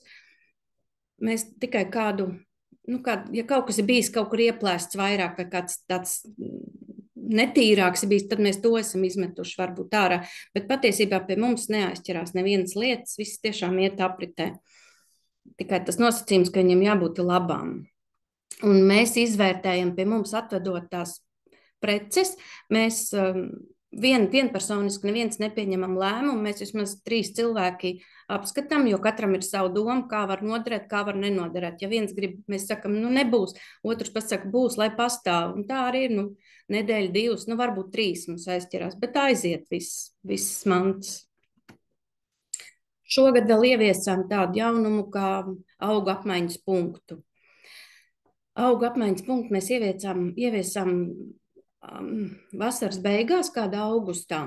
Un tur mēs arī sapratām, ka uh, ļoti labprāt cilvēki ved. Ir dārzos, dārza stādāmās puķis, veda pie mums uz apmaiņu, un arī tādas, ko var istabās ielikt, tādas viss aizgāja ļoti labi. Šobrīd mēs šito esam apturējuši, jo nu, augsts ir. Nevaram laukā turēt, un mēs visas šīs puķis arī nevaram iekšā oficiālā ienest. Tad, tad mēs tā tad šobrīd ne, nepieņemam vairāk. Bet nu, nāks siltāks marts, rudenis, marts, aprīlis. Tur mēs atkal atsāksim par augu maiņas apriti. Esam piedalījušies arī izbraukuma pasākumos. Šovasar piedalījāmies jauniešu festivālā, kur arī bija par aprits ekonomiku tēmas. Un mēs aizbraucām ar savām lietiņām, un cilvēki nāca, cilvēki interesējās. Bija daudzi, kas bija zinājuši, jau lielākā daļa, kas bija zinājuši. Un bija lietas, kas paņēma tikai vienīgi tas, ka mums nebija, nu, viņi neatbrauca pie mums uz to jūrmālas parkā norisinājās. Un tā, tā kā mēs popularizējam ar uz āru, mēs piedalāmies pasākumos ar visām mantām, braucam, darbojamies. Un arī piedāvājam dažni, dažni dažādus konkursus, lai atve, atbrauc pie mums ar velosipēdu vai, vai jebkā atved, atved um, pēta pudeles, piedalies krāma kambars, kam, krāma kambarī, atved kādu lietu, paņem kādu lietu. Tā kā cenšamies, un mūs var, mūs uh, arī varat atrast uh, Facebook lapā. Droši piesakojiet krāma kambars. Mēs esam, mums arī ir savs logo. Nu tā, lūk, un man, arī, man personīgi arī var at, atrast LinkedIn, un Facebookā ir jā, ka te ir, varat nošērot, ne, bet, nu, ar Ilze, milzīgs, milzīgs paldies. Ļoti, ļoti, ļoti priecīgi un ļoti jauki dzirdēt jūsu pieredzes stāstu. Kamēr gaidām jautājumus čatā, es varbūt varētu uzdot pirmo jautājumu. Um, es saprotu, ka jūsu Liepājas rasts šis bija tāds apzināts lēmums. Nu, jūs pieminējāt šos ANO ilgspējīgas attīstības mērķus, uh, un jūs sapratāt, ka šajā virzienā ir jādarbojās. Un, um, vai šī bija tāda ideja, ko jūs kaut kur noskatījāt, vai tas vienkārši radās dabiski, tāpēc, ka nu, tie cilvēki veda un teica, kāda, kā jums tā idejas virzība veidojās? Nu, mazliet, mazliet ir, ir noskatīta no Zviedrijas pieredzē. Mēs esam bijuši apmaiņas braucienos filmos tur redzējām, ilgi lolojām visu šo te līdz esam šeit nonākuši. Bet šī tā viss bija mūsu tā paša iniciatīva, paši darbojāmies, paši darījām. Un tā. Brīnišķīgi. Mums ir jautājums no Evijas. Vai kāda no krāma kambara pērlēm ir nonākusi arī nenovērtēto lietu muzejā? Es gluži sakot, nezinu, kas ir šis muzejs, bet varbūt jūs zināsiet. Jā, ir. Ir neviena viena, ir vairākas nonākušas, kā pēdējo es varētu minēt, es varētu, nevaru žēl parādīt. Nu, es varētu teikt, 80. gados bija tāda, ka uzliek rūjas matos, ietin, uzliek tādu cepuru un pūšamais bija, ka žāvē matus. Un tad sapratām, ka to mēs neatstāsim krāma kambarā, bet uznesām augšā nenovērtēto lietu muzejā. Ļo, ļoti jauki. Es saprotu, ka nenovērtēto lietu muzejs arī ir kaut kāds interesants arhīvs, ko jūs veidojat sev uh, iekšienē.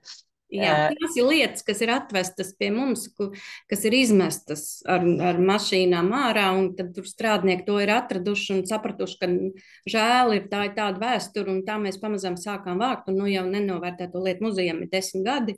Tā kā droši brauciet pie mums, varēs gan nenovērtēt lietu muzejā būt, un arī krāmkambarī. Jā, e, man ir jautājums, kas saistās arī ar jautājumu, ko tikko Anita uzdeva čatā. E, man bija jautājums par uzskaitu un kontroli. E, vai jūs kaut kādā veidā skaitat, cik tad lietas izgrozās cauri? Jo nu, mēs pieminējām un ar Reviju kopā eh, runājām, ka rekur šī mērīšana šiem te atgrieztajā, apritē atgrieztajām ap, lietām nu, ir sarežģīta, bet nu, zinām arī virzienus, ka to vajadzēs drīzumā sākt darīt un tiek domāts, kā to veikt. Tad, tad jautājums, vai jūs to darat vai nē? Un pieminēšu, rekur Anita ierosina, ka šādām lietām likt virsū kaut kādu uzlīmīti vai zīmīti, lai varētu redzēt, eh, vai šī lieta atgriežas, vai tomēr eh, viņa tiek izmantot līdz pašām beigām. Tas ir jauks ieteikums. Varbūt varat padalīties, vai jūs jūs kaut kādā veidā skaitat kaut ko? Jā, mēs skaitām, mums ir uh, lapiņas krāma kambarī ieejot. Mums, mēs vienmēr lūdzam tiem, ka, tiem klientiem, kas ir atbraukuši, lai aizpildītu. Vienalga, vai nu viņi ir atveduši, vai nu viņi ir paņēmuši. Tad, tad viņi aizpild. Mēs neliekam rakstīt ne vārdu, ne uzvārdu. Vienīgi tas, kad, uh, lai uzraksta, kas ir atvests. Un tam mēs arī saku, sarakstām pie sevis visu to. Un šajā, uz šo brīdi no 21. gada mēs sākām tā vairāk, var teikt, divu gadu bišķīt vairāk. Um, 5000 lietas ir apgrozībā aizgājušas. Tas izklausās ļoti, ļoti Jā. labs apjoms, ko izglābt no, no izmešanas. Ļoti jauki, Ilza, brīnišķīgs, brīnišķīgs stāsts un novēl arī visiem rajonā, rajonos savos un pašvaldībās šādas iniciatīvas ieviest. Um, varbūt mans pēdējais jautājums, tā kā viena minūte mums vēl ir. Kā jūs iedzīvotājiem pastāstāt par šādu iespēju? Jo, nu, ja tur apgrozās 5000 lietas, tad tomēr kaut kādā veidā ir jāuzzina par to, ka var vest. Kā jūs to dariet, un vai jūs to caur liepājas rast klientiem, vai, vai kā, jūs, kā jūs to paveicat? Nu, labākā reklāma jau laikam ir no mutes mutē aiziet. Ja? Tas ir labākais, bet mēs reklamējam, mēs Facebookā, kā jūs teicat, mēs reklamējamies, ja? mēs arī mums mājaslapā mēs reklamējamies. Un, un, jā, À, mēs televīz, nu, televīzijās ļoti bieži esam sastopami ar krāmu kambaru sižetiem. Man, man, šķiet, ka, man šķiet, ka tas um, brīnišķīgais efekts uh, jums, ka jūsu vieta ir tāda unikāla, kur tiešām var aizbraukt. Un, kā Evija arī raksta, ka jūs neesat gluži pilsētas centrā un ir jābūt motivētam braukt un aizvest. Un pat šāda vieta, kura nav gluži ar kājām aizjama attālumā, strādā un ir pierādījuši savu vērti. Uh, droši uzdodiet Ilzai papildus jautājumus. Ilzai teikšu lielu, lielu paldies par dalīšanos. Paldies. Uh, un tad aicināšu mūsu nākamo runātāju, uh, vai Karina ir klāt. Karina, tu esi šeit? Jā. Burvīgi. Karina arī ir mana kolēģi no Zero West Latvijas. Un Karina laikam no mums tādu smagāko prezentāciju šodien rādīs ar pavisam jaudīgām lietām un datiem un, do, un, un uh, vērtējumiem. Um, tā kā jā, došu Karinai uh, iespēju pastāstīt, ko mēs esam izpētījuši saistībā ar depozīta glāzēm pasākumos. Un uh, jā, droši uzdodiet savus jautājumus un lūdzu, Karina. Jā, lieku prezentāciju.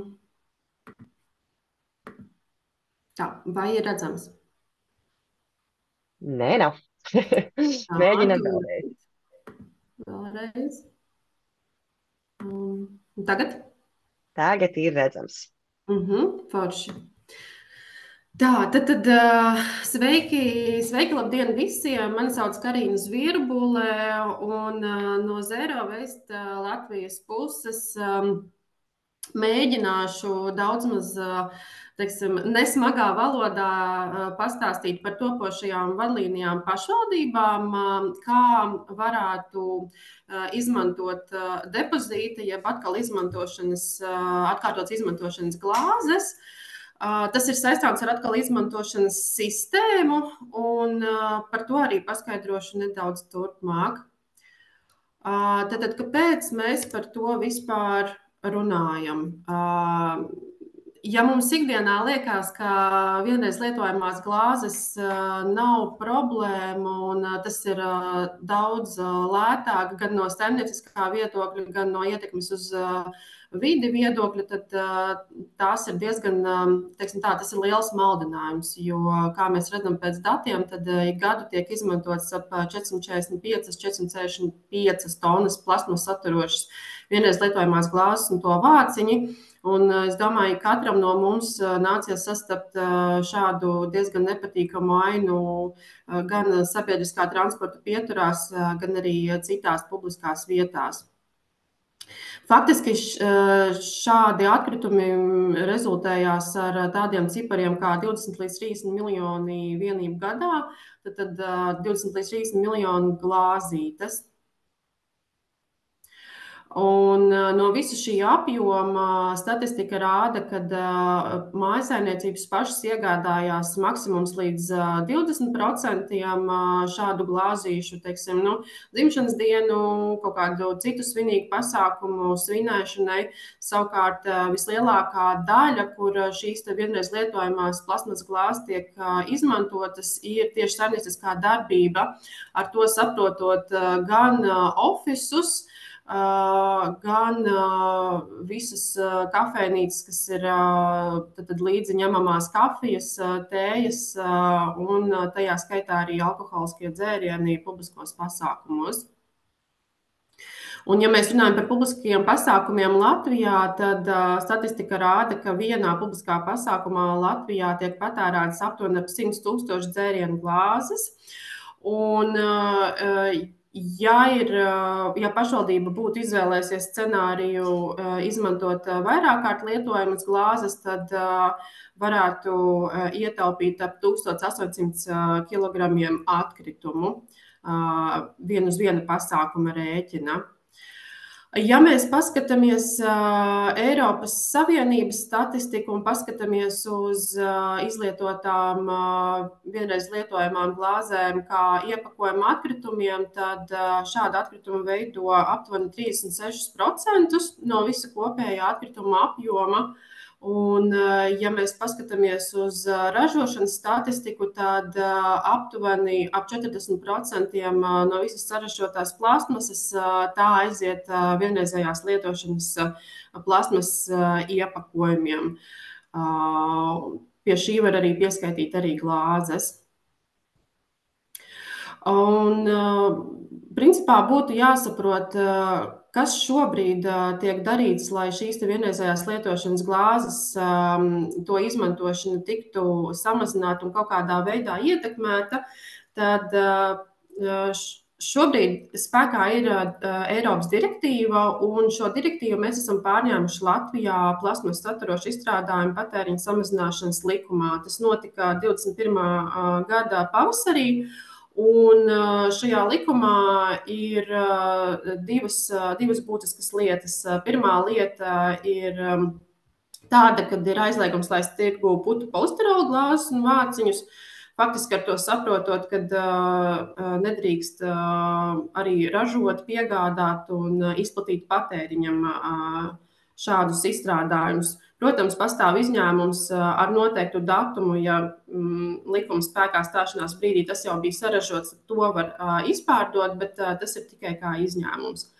Un, ot, un otrs svarīgs pasākums ir um, patēriņa samazināšanas prasība.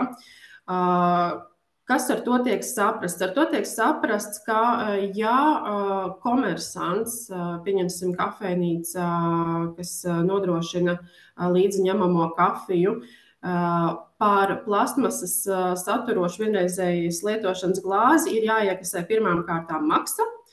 Otrām kārtām ir jādod iespēju patērētājiem izmantot līdzpaņemtas glāzes, un treškārt ir jāpiedāvā vai jāpārdod patērētājiem atkārtot lietojams plasmas izstrādājums vai izstrādājums, kas nesatur plasmasu. Ikdienā mēs to varam ļoti vienkārši redzēt, piemēram, kofeīnā vai, vai, citas, vai citās kafijas kafejnīcās, kur, protams, kad pārdevēji mums piedāvā um, nopirkt uh, termokrūzes, uh, papildus um, iegādājoties kafiju. Tur ir iekļauta arī maksa par, uh, par glāzīšu izmantošanu, par vienreiz lietojamām. Un, protams, ka nav aizliegts arī uh, atnākt ar savu termokrūzi. Bet vai ar to ir pietiekams? Nē, jo kā jau mēs redzējām prezentācijas sākumā, pirmajā bildē mēs redzam, ar, ar ko tas diemžēl rezultējas. Attiecīgi, tas nākotnes potenciāls, uz ko virzīties, kā samazināt vienreizējās lietošanas glāzes un, un, un pasargāt vidi, ir atkal izmantošanas sistēma, kur izmanto depozīta glāzes. Un tādam ievadiņam ar, ar, ar, pastāstīšu, ar ko atšķirās teiksim, tā atkal izmantošanas sistēma no vienreizējās lietošanas sistēmas. Šeit apšā mēs redzam klasisku lineāras ekonomikas piemēru, kurā mēs šobrīd arī dzīvojam, kad no izēju materiālu ieguves, to apstrādes, izplatīšanas, pārdošanas, pēc tam savākšanas, mēs nonākam faktiski pie to utilizēšanas. Savukārt, atkal izmantošanas sistēmā pēc produktu izlietošanas, mūsu gadījumā tā ir glāze.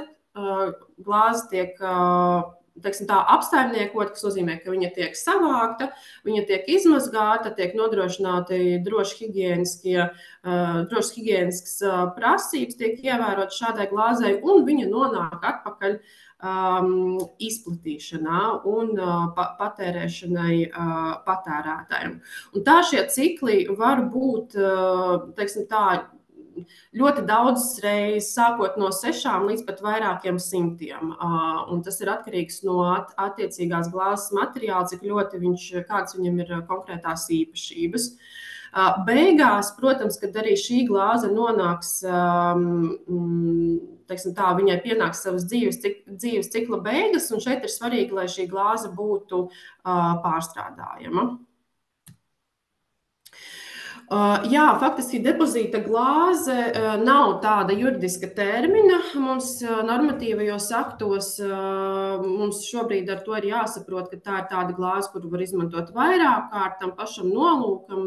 Viņa var saturēt plastmasu Un, faktiski arī depozīta glāzei ir jāievēro tā īpašība, ka viņa tiek nodota atpakaļ tirgotājiem pret kaut kādu zināmu atlīdzību. Tad, tad sākumā tiek samaksāta nauda par to, ka ir iespēja padzerties no tās glāzes, savukārt nododot viņu atpakaļ.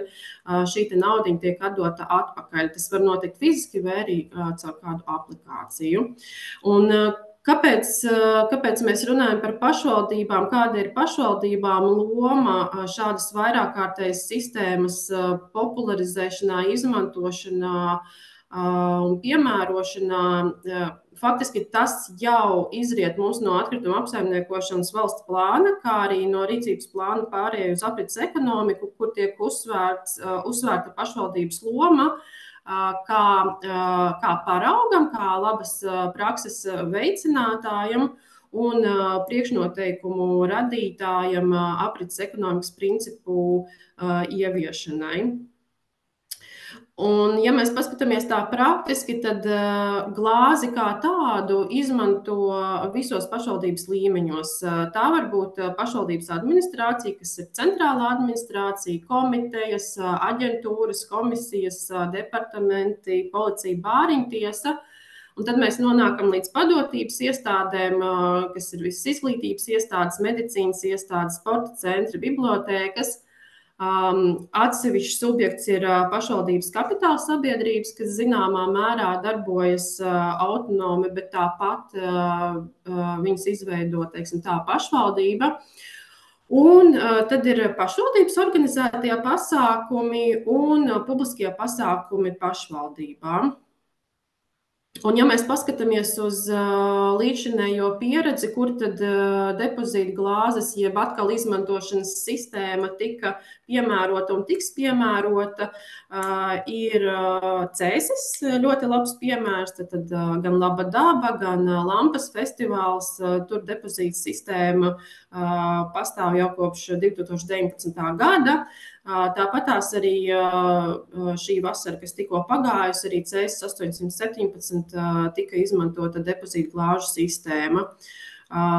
Rīgā vasarā Līgo Grīziņkalnā tika izmantots depozīta glāzes, tad um, ielu ēdināšanas street food festivālā Street Food Latvija. Un tāpat 24. gada vasarā Liepājā Summersoundā arī būs izmantojama un darbosies šī depozīta klāšu sistēma. Ja mēs paskatāmies uz ārvalstīm, tad, protams, kad no Baltijas valstīm ir ļoti progresīva Igaunija, jo Igaunijā jau kopš um, uh, nākamā gada 1. janvāra uh, obligātas uh, publiskos pasākumos būs izmantojami tikai atkārtot lietojamās glāzes un trauki. Un praktiski tas tika jau darīts jau šovasar, jaunatnes, jaunatnes dziesmu un deju svētkos. Un faktiski ar šādu um, praksi Igaunija novērsa ap 3,5 tūkstošu tonnām atkritumu. Uh, dziesmu un dēļu svētku teritorijā bija 70 atkritumu punkti. Un um, Tallinas pilsētai tas aptuveni izmaksāja 27,000 eiro. Uh, Tāda ļoti labs piemērs ir Lielbritānija. Kaut arī uh, vispārēji tiek teikts, ka Lielbritānijā depozīta sistēma uh, nestrādā tik plaši kā uh, citur Eiropā. Tomēr um, Uh, ir vērienīgs uh, šis te, uh, drastic un plastic, teiksim, tā, tāda kā brīv, brīvprātīgā iniciatīva, kurai ir pievienojusies virkne mūzikas, mūzikas un citu izklaides festivālu, vienojoties savā starpā, ka pasākumu laikā tiks izmantotas tikai atkārtot lietojamās glāzes. Tāpat Lielbritānijā ļoti labs piemērs ir Manchesteras pilsētas dome, un vadlīnijās būs atsauce uz, uz, uz šīs domas vadlīnijām. Doma ir izstrādājusi neskaitāmus dokumentus priekš privātā sektora, lai parādītu, kā privātais sektors var ieviest depozītu glāzi, teiksim, izveidot jaunu biznesa modeli un kādi, kādi, kādi pieturpunkti būtu jāievēro, lai šis biznesa modelis būtu veiksmīgs. Tāpat par pieredzi ārvalstīs ir jāmin Itālijā, Sestri Levante pašvaldība un pludmales kurorti, kur viena projekta ietvaros pludmales kurortiem tika izdalītas vairāk kārt lietojamas plasmasas glāzes. Un rekur šeit mēs varam redzēt tādu kā um, attēla fragmentu, kur uh, patērētāji bija rezultātā diezgan atsaucīgi pret, pret šādu kurorta uh, aktivitāti, uh, samazinot rezultātā arī atkritumus. Tad ir vērā ņemama uh, Itālijas pieredze ar monouzo manifestu. Tas ir uh, Tā arī ir brīvprātīga uh, iniciatīva. Tiek, tika izveidots uh, viegli uh, replicējams protokols, teiksim, tā ietekmes uz vidi samazināšanai, kurai var pievienoties jebkura pašvaldība un, attiecīgi, savos principos izmantot atkārtotas izmantošanas sistēmu un, attiecīgi, atkārtot izmantojamas glāzes. Un vēl viens piemērs ir Bulgārija. Burnu, bērnu dārza tā ir uh, specifiska. Um, tas, teiksim, tā Bulgārija ir specifiska, jo Bulgārijā uh, bērnu dārzos izmantoja tikai plastmasas uh, vienreizējās lietošanas krūzītes. Līdz ar vienu iniciatīvu vairāk nekā 40 bērnu dārzos tika ieviestas šīs vairāk kārt lietojamās krūzītes, kas ir uh, arī individualizētas. Un, Tādā veidā Bulgārijas pašvaldības arī ir pierādījušas, ka var apvienoties un uz brīvprātīgas iniciatīvas pamata ieviest vairāk kārt lietojumus risinājumus. Ja mēs pieķeramies klāt pie pašvaldību konkrētiem instrumentiem, teiksim, tā, juridiskām niansēm, kā tad var depozīta glāzes izmantot pašvaldībā, tad pirmais svarīgais punkts ir domas saistošie noteikumi ielu tirsniecībai jau šobrīd, piemēram, Rīgā ir noteikts, ka no 24. gada 1. janvāra publiskos pasākumos varēs izmantot tikai vairāk kārt lietojamas glāzes, vienreizējās lietošanas glāzes ir aizliegtas. Un, tāpat var minēt, ka arī citas pašvaldības ir bijušas progresīvas. Piemēram, Sigulda arī ir ļoti labs piemērs, kur vispār galvenais princips preču pārdošanai ir tāds, ka šīs preces ir jāpārdod bez iepakojuma vai atkārtot lietojamā iepakojumā. Attiecībā uz dzērienu glāzēm tās var būt vairāk kārt lietojamas, bet um, Viņas var būt arī saka, vidē draudzīgas, jeb tādas, kas nonākot vidē sadalās. Jēkabpilī, Cēsīs, Līvānos, Tausos domas saistošie noteikumi paredz vienu plasmas patēriņa samazināšanas prasību. Tad tas ir tas, ko es stāstīju pašā sākumā, ka ir jābūt šiem te informēšanas pasākumiem, maksai jābūt un, un, un ir jāpiedāvā arī iegādāties vairāk kārt lietojumu, bet, bet nekas vairāk nav pateikts. Tālāk, kā instruments, ir ļoti svarīgs pašvaldības pasākumu nolikumi, respektīvi tajos gadījumos, kad pašvaldība organizē kādu pasākumu, ir iespēja nolikumā norādīt, ka sabiedriskās ēdināšanas nodrošināšanā konkrēti, konkrētu dzērienu iegādē būtu komersantam jāizmanto atkārtotas lietošanas sistēma. Tas nenozīmē to, ka komersantam pašam viņi ir jānodrošina. Pašvaldība var nodrošināt un slēgt līgumu ar kādu atkārtotas lietošanas sistēmas pakalpojumu nodrošinātāju, taču tas, kurš pārdod dzērienus, viņam ir pienākums, pienākums to, to izmantot. Nākamais svarīgais punkts ir ēdināšanas pakalpojumu iepirkumi gan teiksim, pašvaldības administrācijas vajadzībām, gan, gan citos gadījumos, kad pašvaldībai vajag nodrošināt ēdināšanas pakalpojumus. Un šeit ir svarīgi atcerēties, ka ēdināšanas pakalpojumos zaļais publiskais iepirkums ir obligāts, tikai ir viena nianse, ka um, tiek noteikts, ka var izvēlēties, vai nu tās ir vairāk kārt lietojamas glāzes, vai nu tādas, kas, ir, kas satur dabīgus materiālus. Un, un, un te ir tas klupšanas akmens, kā ar dabīgiem materiāliem mēs arī varam saprast tādas glāzes kuru sastāvā ir papīrs, taču tas uh, lielā mērā neko nedod, jo tur sastāvā ir ne tikai papīrs, bet arī, bet arī plasmasa. Tad, tad plasmas plēvīt iekšā, rezultātā šāda glāze nemaz vidēji draudzīga nav. Nākamā iespēja ir glāžu iepirkums, bet tur ir ļoti liela problēma ar kritēriju saimnieciski visizdevīgākais piedāvājums, jo tur būtu jāvērtē cena pirmām kārtām. Un, un, un cenas vērtēšanā ir jāvērtē arī aprits cikla uh, izmaksas, kas ir ļoti mm, sarežģīts process un, un, un, un var novest pie neveiksmes, bet uh, kas ir otrs. Um, Otrs, otra pazīme ir cena plus kvalitāte. Un pēc šī kritērija kvalitātes prasībā ietveras arī vidas aizsardzības prasības, un tādā gadījumā to varētu izmantot.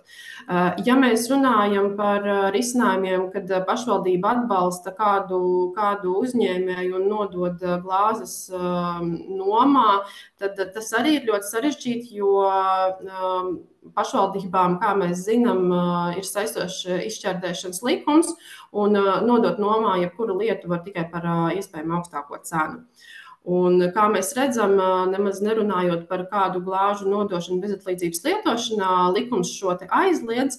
Un kā risinājumu mēs piedāvājam konteineru iepirkumu, balstoties uz atkritumu apsaimniekošanas mērķu sasniegšanu pašvaldībām. Iespējams, tas varētu būt risinājums. Anna, man ir, es skatos, man ir laikam laiks nācis, bet man ir vēl nedaudz palicis. Viss kārtībā, mēs esam eh, mazliet ietaupījuši laiku, tā kā es ļauju tev droši runāt. Labi, paldies. Un eh, tad, teiksim, eh, pēdējā mana prezentācijas sadaļa būtu mm, sniegt jums ieskatu par jēdzienu dzīves cikla analīze, ko tas nozīmē un, un kā tas atspoguļojas atkal izmantojamās glāzēs, jo bieži vien mēs varam dzirdēt jautājumu, vai tad tiešām plasmasas glāžu iegāde, teiksim tā, ir salīdzināma ar atkal izmantošanas sistēmu, kur ir jāizmanto uh, atsevišķi komersants, atsevišķa infrastruktūra, jātērē ūdens glāžu mazgāšanai, tad viņas kaut kur ir jāglabā. Un, un, uh, un vai tad tiešām dzīves cikla analīze, uh, analīzes rezultātā mēs varam secināt, ka atkal izmantojams glāzes būs izdevīgāks. Īsnībā to var pierādīt, bet ir jāievēro vairāki kritēriji. Un tie kritēriji ir šādi, ka atkārtot lietojamai glāzei, jeb depozīta glāzei, ir jābūt pēc iespējas lielākam atkal izmantošanas ciklu skaitam. Piemēram, kā es pētīju zinātniskajā literatūrā, tad šie cikli sāks ar skaitli vismaz seši seši un uz augšu. Uh, ir, ir arī glāzes, kurām cikls sasniedz arī, arī 100 un, un, un 200 ciklu skaitu. Uh, tad otrs kritērijs ir materiāla veids, no kāda materiāla glāze ir veidota. Tas, tas, tā var būt plasmasa, bet viņai ir jābūt zema blīvuma plasmasai, piemēram, polipropilēnam. Kā arī ir būtiski pievērst uzmanību, vai šādai plasmasas glāzei iekšā jau ir pārstrādātas plasmasas īpatsvars, jo tādā gadījumā, ja tas tā būs, tad, tad uh, kopējais, teiksim tā, kopējā dzīves cikla analīze uh, būs daudz, daudz pozitīvāka, ar labākiem rezultātiem. Uh, tāpat Uh, ir skrupulozi jāvērtē uh, transporta izmaksas, transporta kapacitāte. Uh, jo vairāk transportā varēs iekraut un, un, un optimizēt iespējams arī ceļu, jo rentablā, rentablāka šī sistēma būs.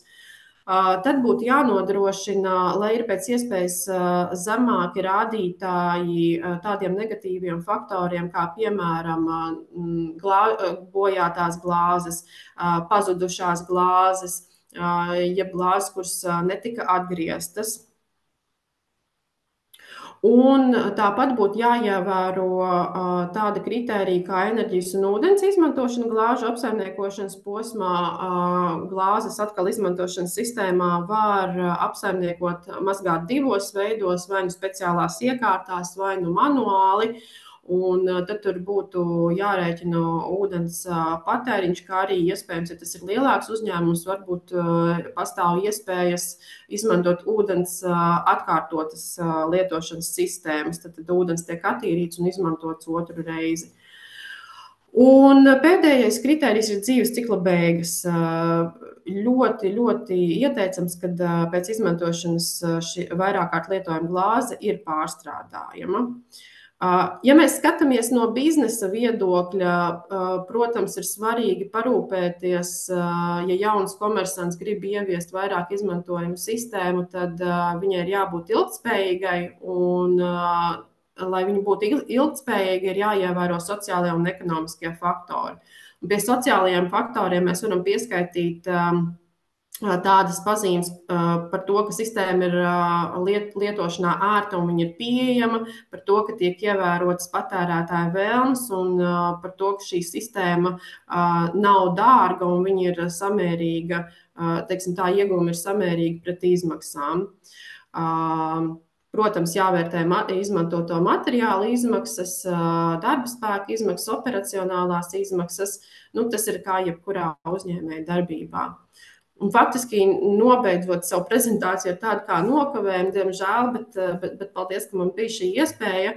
Um, gribētos vērst uzmanību uz, uz tādu uh, jēdzienu kā apritīgs patērētājs. Mēs visu laiku runājam par uh, aprits ekonomiku, bet mēs aizmirstam, ka aprits ekonomika veido apritīgs patērētājs, kuram ir šie te, labie ieradumi, par ko, par ko Anna pašā sākumā arī, arī stāstīja. Un es varētu no savas puses piebilst, ka mūsu gadījumā svarīgs, ka mūsu apritīgs patērētājs noteikti sāksies un ņems piemēru no apritīgas pašvaldības. Es ceru, ka tās vadlīnijas, kuras, kuras drīkst nā, nāks klajā, viņas pašvaldībām būs noderīgas. Un, ja jums būs kādi jautājumi par to, kā tad pašvaldībai iepirkt vai, vai citādi ieviest depozīta glāzes kādā no pašvaldības posmiem, vai no oficiālā, vai no kādā publiskā pasākumā, droši varat mums rakstīt, un, un, un mēs mēģināsim jums palīdzēt. Tas ir arī viss. Brīnišķīgi, Karina, paldies tev liels par uh, prezentāciju. Nu tā, ja es uh, nebūtu pazīstama ar šo tēmu, es būtu diezgan sabijusies pēc šīs prezentācijas, jo, nu, rekā, uh, tik daudz, kas jāzina par to, tik daudz, ko jādomā. Un tas, ko es gribēju piebilst tiem, kas klausās, ir svarīgi saprast, ka tāpēc arī šīs vadlīnijas top, lai jums nav jādara tas darbs, ko Karina jau ir izdarījusi. Viņa jūsu vietā būs izpētījusi likumdošanu, izrunājusies ar varam kolēģiem, sapratusi, kas ir caurumi, kas nav, un ja sapratusi, principā, tādu vienkāršu gan būs gan detalizēts formāts, kā izlasīt šīs vadlīnijas, gan tāda vienkārša pārskatām, teiksim, tā čekliste, lai varētu šīm vadlīnijām palīdzēt un sekot. Um, jā, Reka, mums jau jautā čatiņā līga, kad būs vadlīnijas pieejams, Karim? Vadlīnijas būs pieejamas gada beigās. Es, um, Uh, nevaru solīt, ka tas, ka tas būs tieši 31. decembrī, bet, uh, bet, uh, bet mēs iekšējā biedrībā noteikti nofinalizējam to decembra beigās. Un, nu, ja ne 1. janvārī, uzreiz nākamajā dienā pēc jaunā gada, tad 2. un 3. mājaslapā noteikti varēsiet atrast. Jā, no savas puses arī varu piebilst, ka mēs noteikti izsūtīsim pašvaldībām arī informāciju, ka šādas vadlīnijas ir publicētas. Ar jūsu atļauju, jums tiešām interesē, tad šīs semināra apmeklētājiem arī padalīsimies info. Nu, zinām, ka nedrīkstam sūtīt jums spāmu, bet šis, manuprāt, ir tiešām noderīgs materiāls, kurš, kurš varētu noderēt arī ikvienam no jums. Tā kā es ceru, ka, ka jūs saņemsiet no mums. Ja nu pēkšņi janvārī attopaties, ka bija saruna un nav, rakstiet mums mums, prasiet mūsu e-pastu, un viss ir mājaslapā. Tā, vai mums ir vēl kāds jautājums čatiņā? Jā, droši, Ilze. Tā. Sveiciens no saldus. Es ļoti priecājos par, par to, ka par depozītu glāzēm, bet man šodien ir piemēram šajā trīs stāvēkā avotielā. Man ir, mums, mēs rīkojam pasākumu daudz dzīvokļu māju pārstāvjiem, atnāks simts cilvēku. Mēs viņiem piesolījām tēju un bulciņas, un es tai tējai savācu no trījiem stāviem krūzītes, un mēs viņus nomazgāsim vakarā bez problēmām. Es vienkārši, principā, nekad nedodu cilvēkiem neko plasmas traukos, un un es esmu pārkaitinājis publiku ar to, bet, bet man ir rokā šī tāda viena, man te šovakar būs arī viņiem konkursiņi. Man ir šī tāda papīra glāzīta rokā, viņai apkārt ir kartoniņš, un uz tā kartoniņa ir tur tādi divi kaut kādi nesaprotami zīmējumi, un rakstīts, ka šī glāzīta satur plastmasu.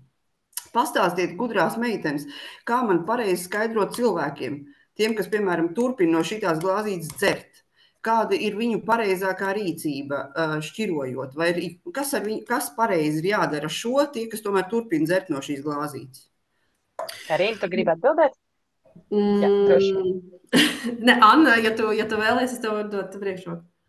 Nē, nē, droši, droši, tu esi pētījis šo tēmu. Ja, tev, ja man būs ko piebilst, es droši, droši papildinu. Labi. Uh, nu, pirmā lieta, kas būtu jādara, ir, ja mēs redzam uh, zīmīti tad šo bruņu rupucīti, ja, kurš, kurš tur, man liekas, ka viņš tur raud un slīkst. Tad, tad tas nozīmē, to, ka šis izstrādājums satur plastmasu. Es teiktu, ka no tā, kā patērētāja, no tā būtu jā, jāatsakās tādu lietot, lai mēs neredam šo precedentu, kad, kad ir šis pieprasījums pēc tādām glāzēm Tā ir pirmā lieta, kas, kas ir vajadzīga. Nākamā lieta ir jautājums par, par, par pārstrādes iespējām. Manuprāt, Līdz ar šo simbolu mēs saprotam, ka viņš nav pārstrādājams. Tāpēc, ka tas ir kompozīta materiāls, tur ir plasmas sajaukums kopā ar kaut ko. Un, attiecīgi, lai tas būtu pārstrādājums, mums būtu jāmeklē vēl kādi papildus simboli, kas ir atrunāti ministru kabineta noteikumos. Un no šī izriet, ka faktiski šādu glāzīti um, viņu, nu, viņu met, uh, vispareizāk viņu būtu mest. Uh, Droši vien, ka pareizā atbilde būtu pie sadzīves atkritumiem, jo viņus tāpatās viņiem neko nevar izdarīt. Mana savukārt personiskā pieredze, tiešām personiska, redzot, kā notiek šķiroto atkritumu verificēšana poligonos tad uh, vismaz tajā brīdī, ja šī glāzīte tiks iemesta pie papīra, uh, papīra konteinerā, tad, tad, nu, kur, mums ir, kur, kur mums ir iespēja uh, iemest visus kartonus un, un uh, pārstrādājumus, plastmasas, tad uh, tajā brīdī vismaz poligoni varēs uh, redzēt tos apjomus. Cik, cik, cik lieli ir tie atšķirotie, atšķirotās šīs vienības, kuras tomēr nav pārstrādātas. Nu, Manuprāt, tam ir kaut kāda vērtība, jo kaut kāda poligona tam tomēr pievērsīs uzmanību. Bet, nu, ja mēs gribam tā strikti, tad uh, pirmām kārtām labāk nepirkt, otrām kārtām jāmet pie sadzīves atkritumiem, jo, nu, diemžēl, uh, diemžēl pārstrādāt nevar. Tā, tas ir tā. Mums šeit ir arī atkrituma apsaimniekotāju pārstāvi. Varbūt kāds grib pakomentēt, jo nu, jūs esat tie, kur arī saskarās ar šiem šķirošanas paradumiem. Un tas, ko aprakstīja Karina, tas tādā vidas aktīvistu posmā saucās uh, wish cycling. Tad, tu nevis recyclo, bet wish cyclo. Tad, tu gribi, lai šis kļūstu pārstrādājums un tu viņu met tajā konteinerā. Teorētiski varbūt tā gluži darīt nevajadzētu, bet jā, ja kāds, kurš vēlas kaut ko pakomentēt, droši pakomentējiet. Bet, jā, jā, es zinu par gadījumu stāstīt Rīgā. Manuprāt, vienā no festivāliem, kad tik nepozitīvas, bija ieviestas šīs papīra krūzītes, kuras bija rast iespēju pārstrādāt. Um, varbūt kāds no Rīgas var nokomentēt, zinu, ka kāds bija arī pieteicies, varbūt esat atnākuši. Um, un tur tā iniciatīva mazliet nogāja greizi ar to, ka īsti komunikācija uz vietas nebija pieejama tādā mērā, lai tās krūzītes savāktu pietiekamā daudzumā un tad rast arī pārstrādēji. Um, es saprotu, ka ir kaut kādas iniciatīvas noteikti bijušas pārstrādājumībai, bet kopumā tieši tā kā Karina saka, izvēlamies nelietot. Un numur divi, uh, ja tomēr lietojam, tad uh, sadzīves atkritumi, diemžēl, ir tā vieta. Jā, vai kāds vēlas pakomentēt? Bet, bet niansīt vēl. Te tas kartoniņš apkārt. Man liekas, viņš ir noņemams. Viņš gan diezgan stingri ir. Viņu var noņemt, un tas gan ir tīrs kartons. Un tad paliek izmest uh, tikai to krūzīti, kas iekšpusē, vai ne? Tā būs. Ja noņemams, jā. Ja jā, noņemams, jā. noņemams. Es viņu šobrīd neņemšu, tāpēc, ka man jānodemonstrē šodien simts cilvēkiem. Jūs man būsiet palīdzējuši sagatavot precīzi atbildi. Paldies! Ja mums zāle pārstāv arī grib pakomentēt, lūdzu, Ieva. Jā, labi. Mest vai nemest, mēs katrā ziņā aicinām cilvēkus šādus te vienreiz lietojamos traukus mest tikai vienīgi sadzīves atkritumus, jo Attiecīgi tas sabojā to pārējo kvalitatīvo materiālu. Un, un kā kolēģi no saldus sāk jau preparēt glāzīti pa sīkām sastāvdaļām, tad realitāte tā šķirošana no visa, vismaz mūsu rokām un attiecīgi rokām, kas ir uz šķirošanas līnijas, tādas sīkas, mazas detaļas, vispār paskries garām, viņš nespēs tās uztvert. Tad ja, jo vairāk mēs viņu sadalīsim sīkāk, jo tas būs, nu, teikt, mazāk pārstrādē derīgs. Lai gan es piekrītu, jā, papīrs tur ir ļoti, ļoti vērtīgs un, un mēs viņu pārstrādi tālāk. Tad būtu diezgan neiespējami. Mēs, pirmkārt, mēs to nespētu savākt tādos ap, apjomos. Tā kā, jā. Mēģinām izvairīties no šiem materiāliem. Paldies, jau par komentāru. Tieši šis ir tas uh, viedoklis arī, ko es gribēju dzirdēt. Un tur tāds viens tāds svarīgs aspekts visiem iesaka kādreiz aiziet uz kādu atkritumu apsaimniekošanas uzņēmumu, kur ir šķirošanas līnijas, un jūs redzēsiet, kā mazās detaļas tur krīt cauri tām visām uh, līnijām. Un, jā, nu, tā ir kā ir. um, ļoti ceram, ka uh, Ilze, es esmu ārkārtīgi priecīga par jūsu iniciatīvu un uh, ļoti priecājos, ka ir šādi cilvēki. Uh, vienmēr biedrībā gaidām šādus cilvēkus arī pieteikties. Pašvaldība nav šķērslis uh, būt arī mūsu biedrs. Ne, es jau esmu piecās biedrībās un mazpulcēnos un kur tik ne, un es vēl tagad esmu, es priecājos, es labprāt ar jums, mēs ļoti patīk sadarboties ar tādiem cilvēkiem. Brīnišķīgi, brīnišķīgi. Paldies! Ļoti jauki. Varbūt kādam vēl ir kāds jautājums Karinai, jo nu, Karina ir izdarījusi milzīgu darbu. Protams, ka visi gaida rezultātu. Varbūt kāds vēl kaut ko vēlas paveicāt. Bet droši var arī rakstīt, jebkurā brīdī, jau, ja, ja būs jautājumi, un nekad neatteiksim. Jā, nu, Karina e-pasts ir Karina Dzerovēs Latvija.lv, ja kāds interesējas. Uh, tad varbūt ar šādu jauku, jauku komentāru uh, pilnīgi noteikti uh, noslēgsim šo foršo sesiju. Es tā atskatoties, mēģināju pierakstīt, ko tad mēs šodien esam izdarījuši un ko mēs esam izrunājuši.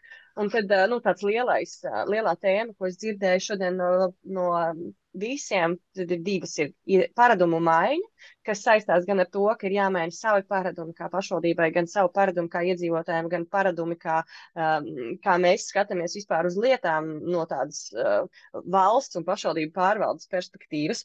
Un tā otrā lieta ir, ka tā mazās iniciatīvas mēdz izaugt lielas, un, piemēram, no šī krāma kambars idejas, no mazas lietas, kas vienkārši bija nepieciešamība līdz šai te procesam, kur jau šis ir kļuvis par lielu ilgadēju projektu, kur tad arī cilvēki var braukt izbraukumos un stāstīt par savu pieredzi, manuprāt, ir tā kā nenovērtējama arī šeit. Es skatos, ka ir jautājums, kas Latvijā piedāvā vairāk lietojamas traukus un glāzes. Jā, es tagad konkrētus ražotājus nenosaukšu, bet es esmu pati, Karina zinās, ja? Varu ātri atbildēt, iznomāt mēs varam SIA astronomā, tieši noma. Tad nākamais, ja mēs gribam pilnu atkal izmantošanas sistēmas servisu, tā ir biedrība patapa. Nu, un vispār atkārtot lietojums glāzes var pat gemasā paskatīties. Ja? Bet šie divi astronoma un biedrība patapa ir divi galvenie spēlētāji šobrīd Latvijā.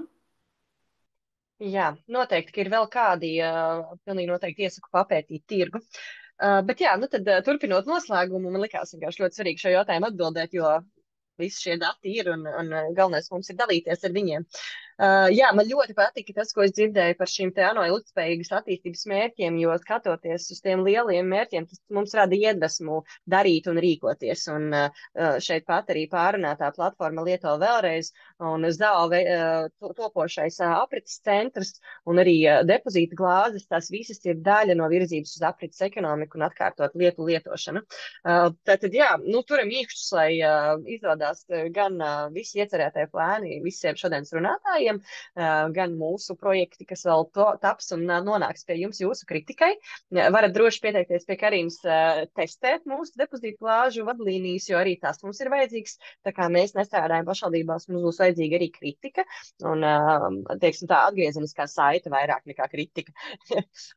Bet saku milzīgi paldies visiem dalībniekiem un, kā jau teicu, šīs bija trešais un noslēdzošais sarunu sesijas notikums šajā gadā, ko mēs rīkojām tiešām, manuprāt, visi trīs ārkārtīgi vērtīgi. No visiem trijiem ir pieejami ieraksti, tā kā uh, sūtīšu šī, šī pasākuma ierakstu jums, ja interesē iepriekšējie, noteikti padodiet man ziņu, padalīšos.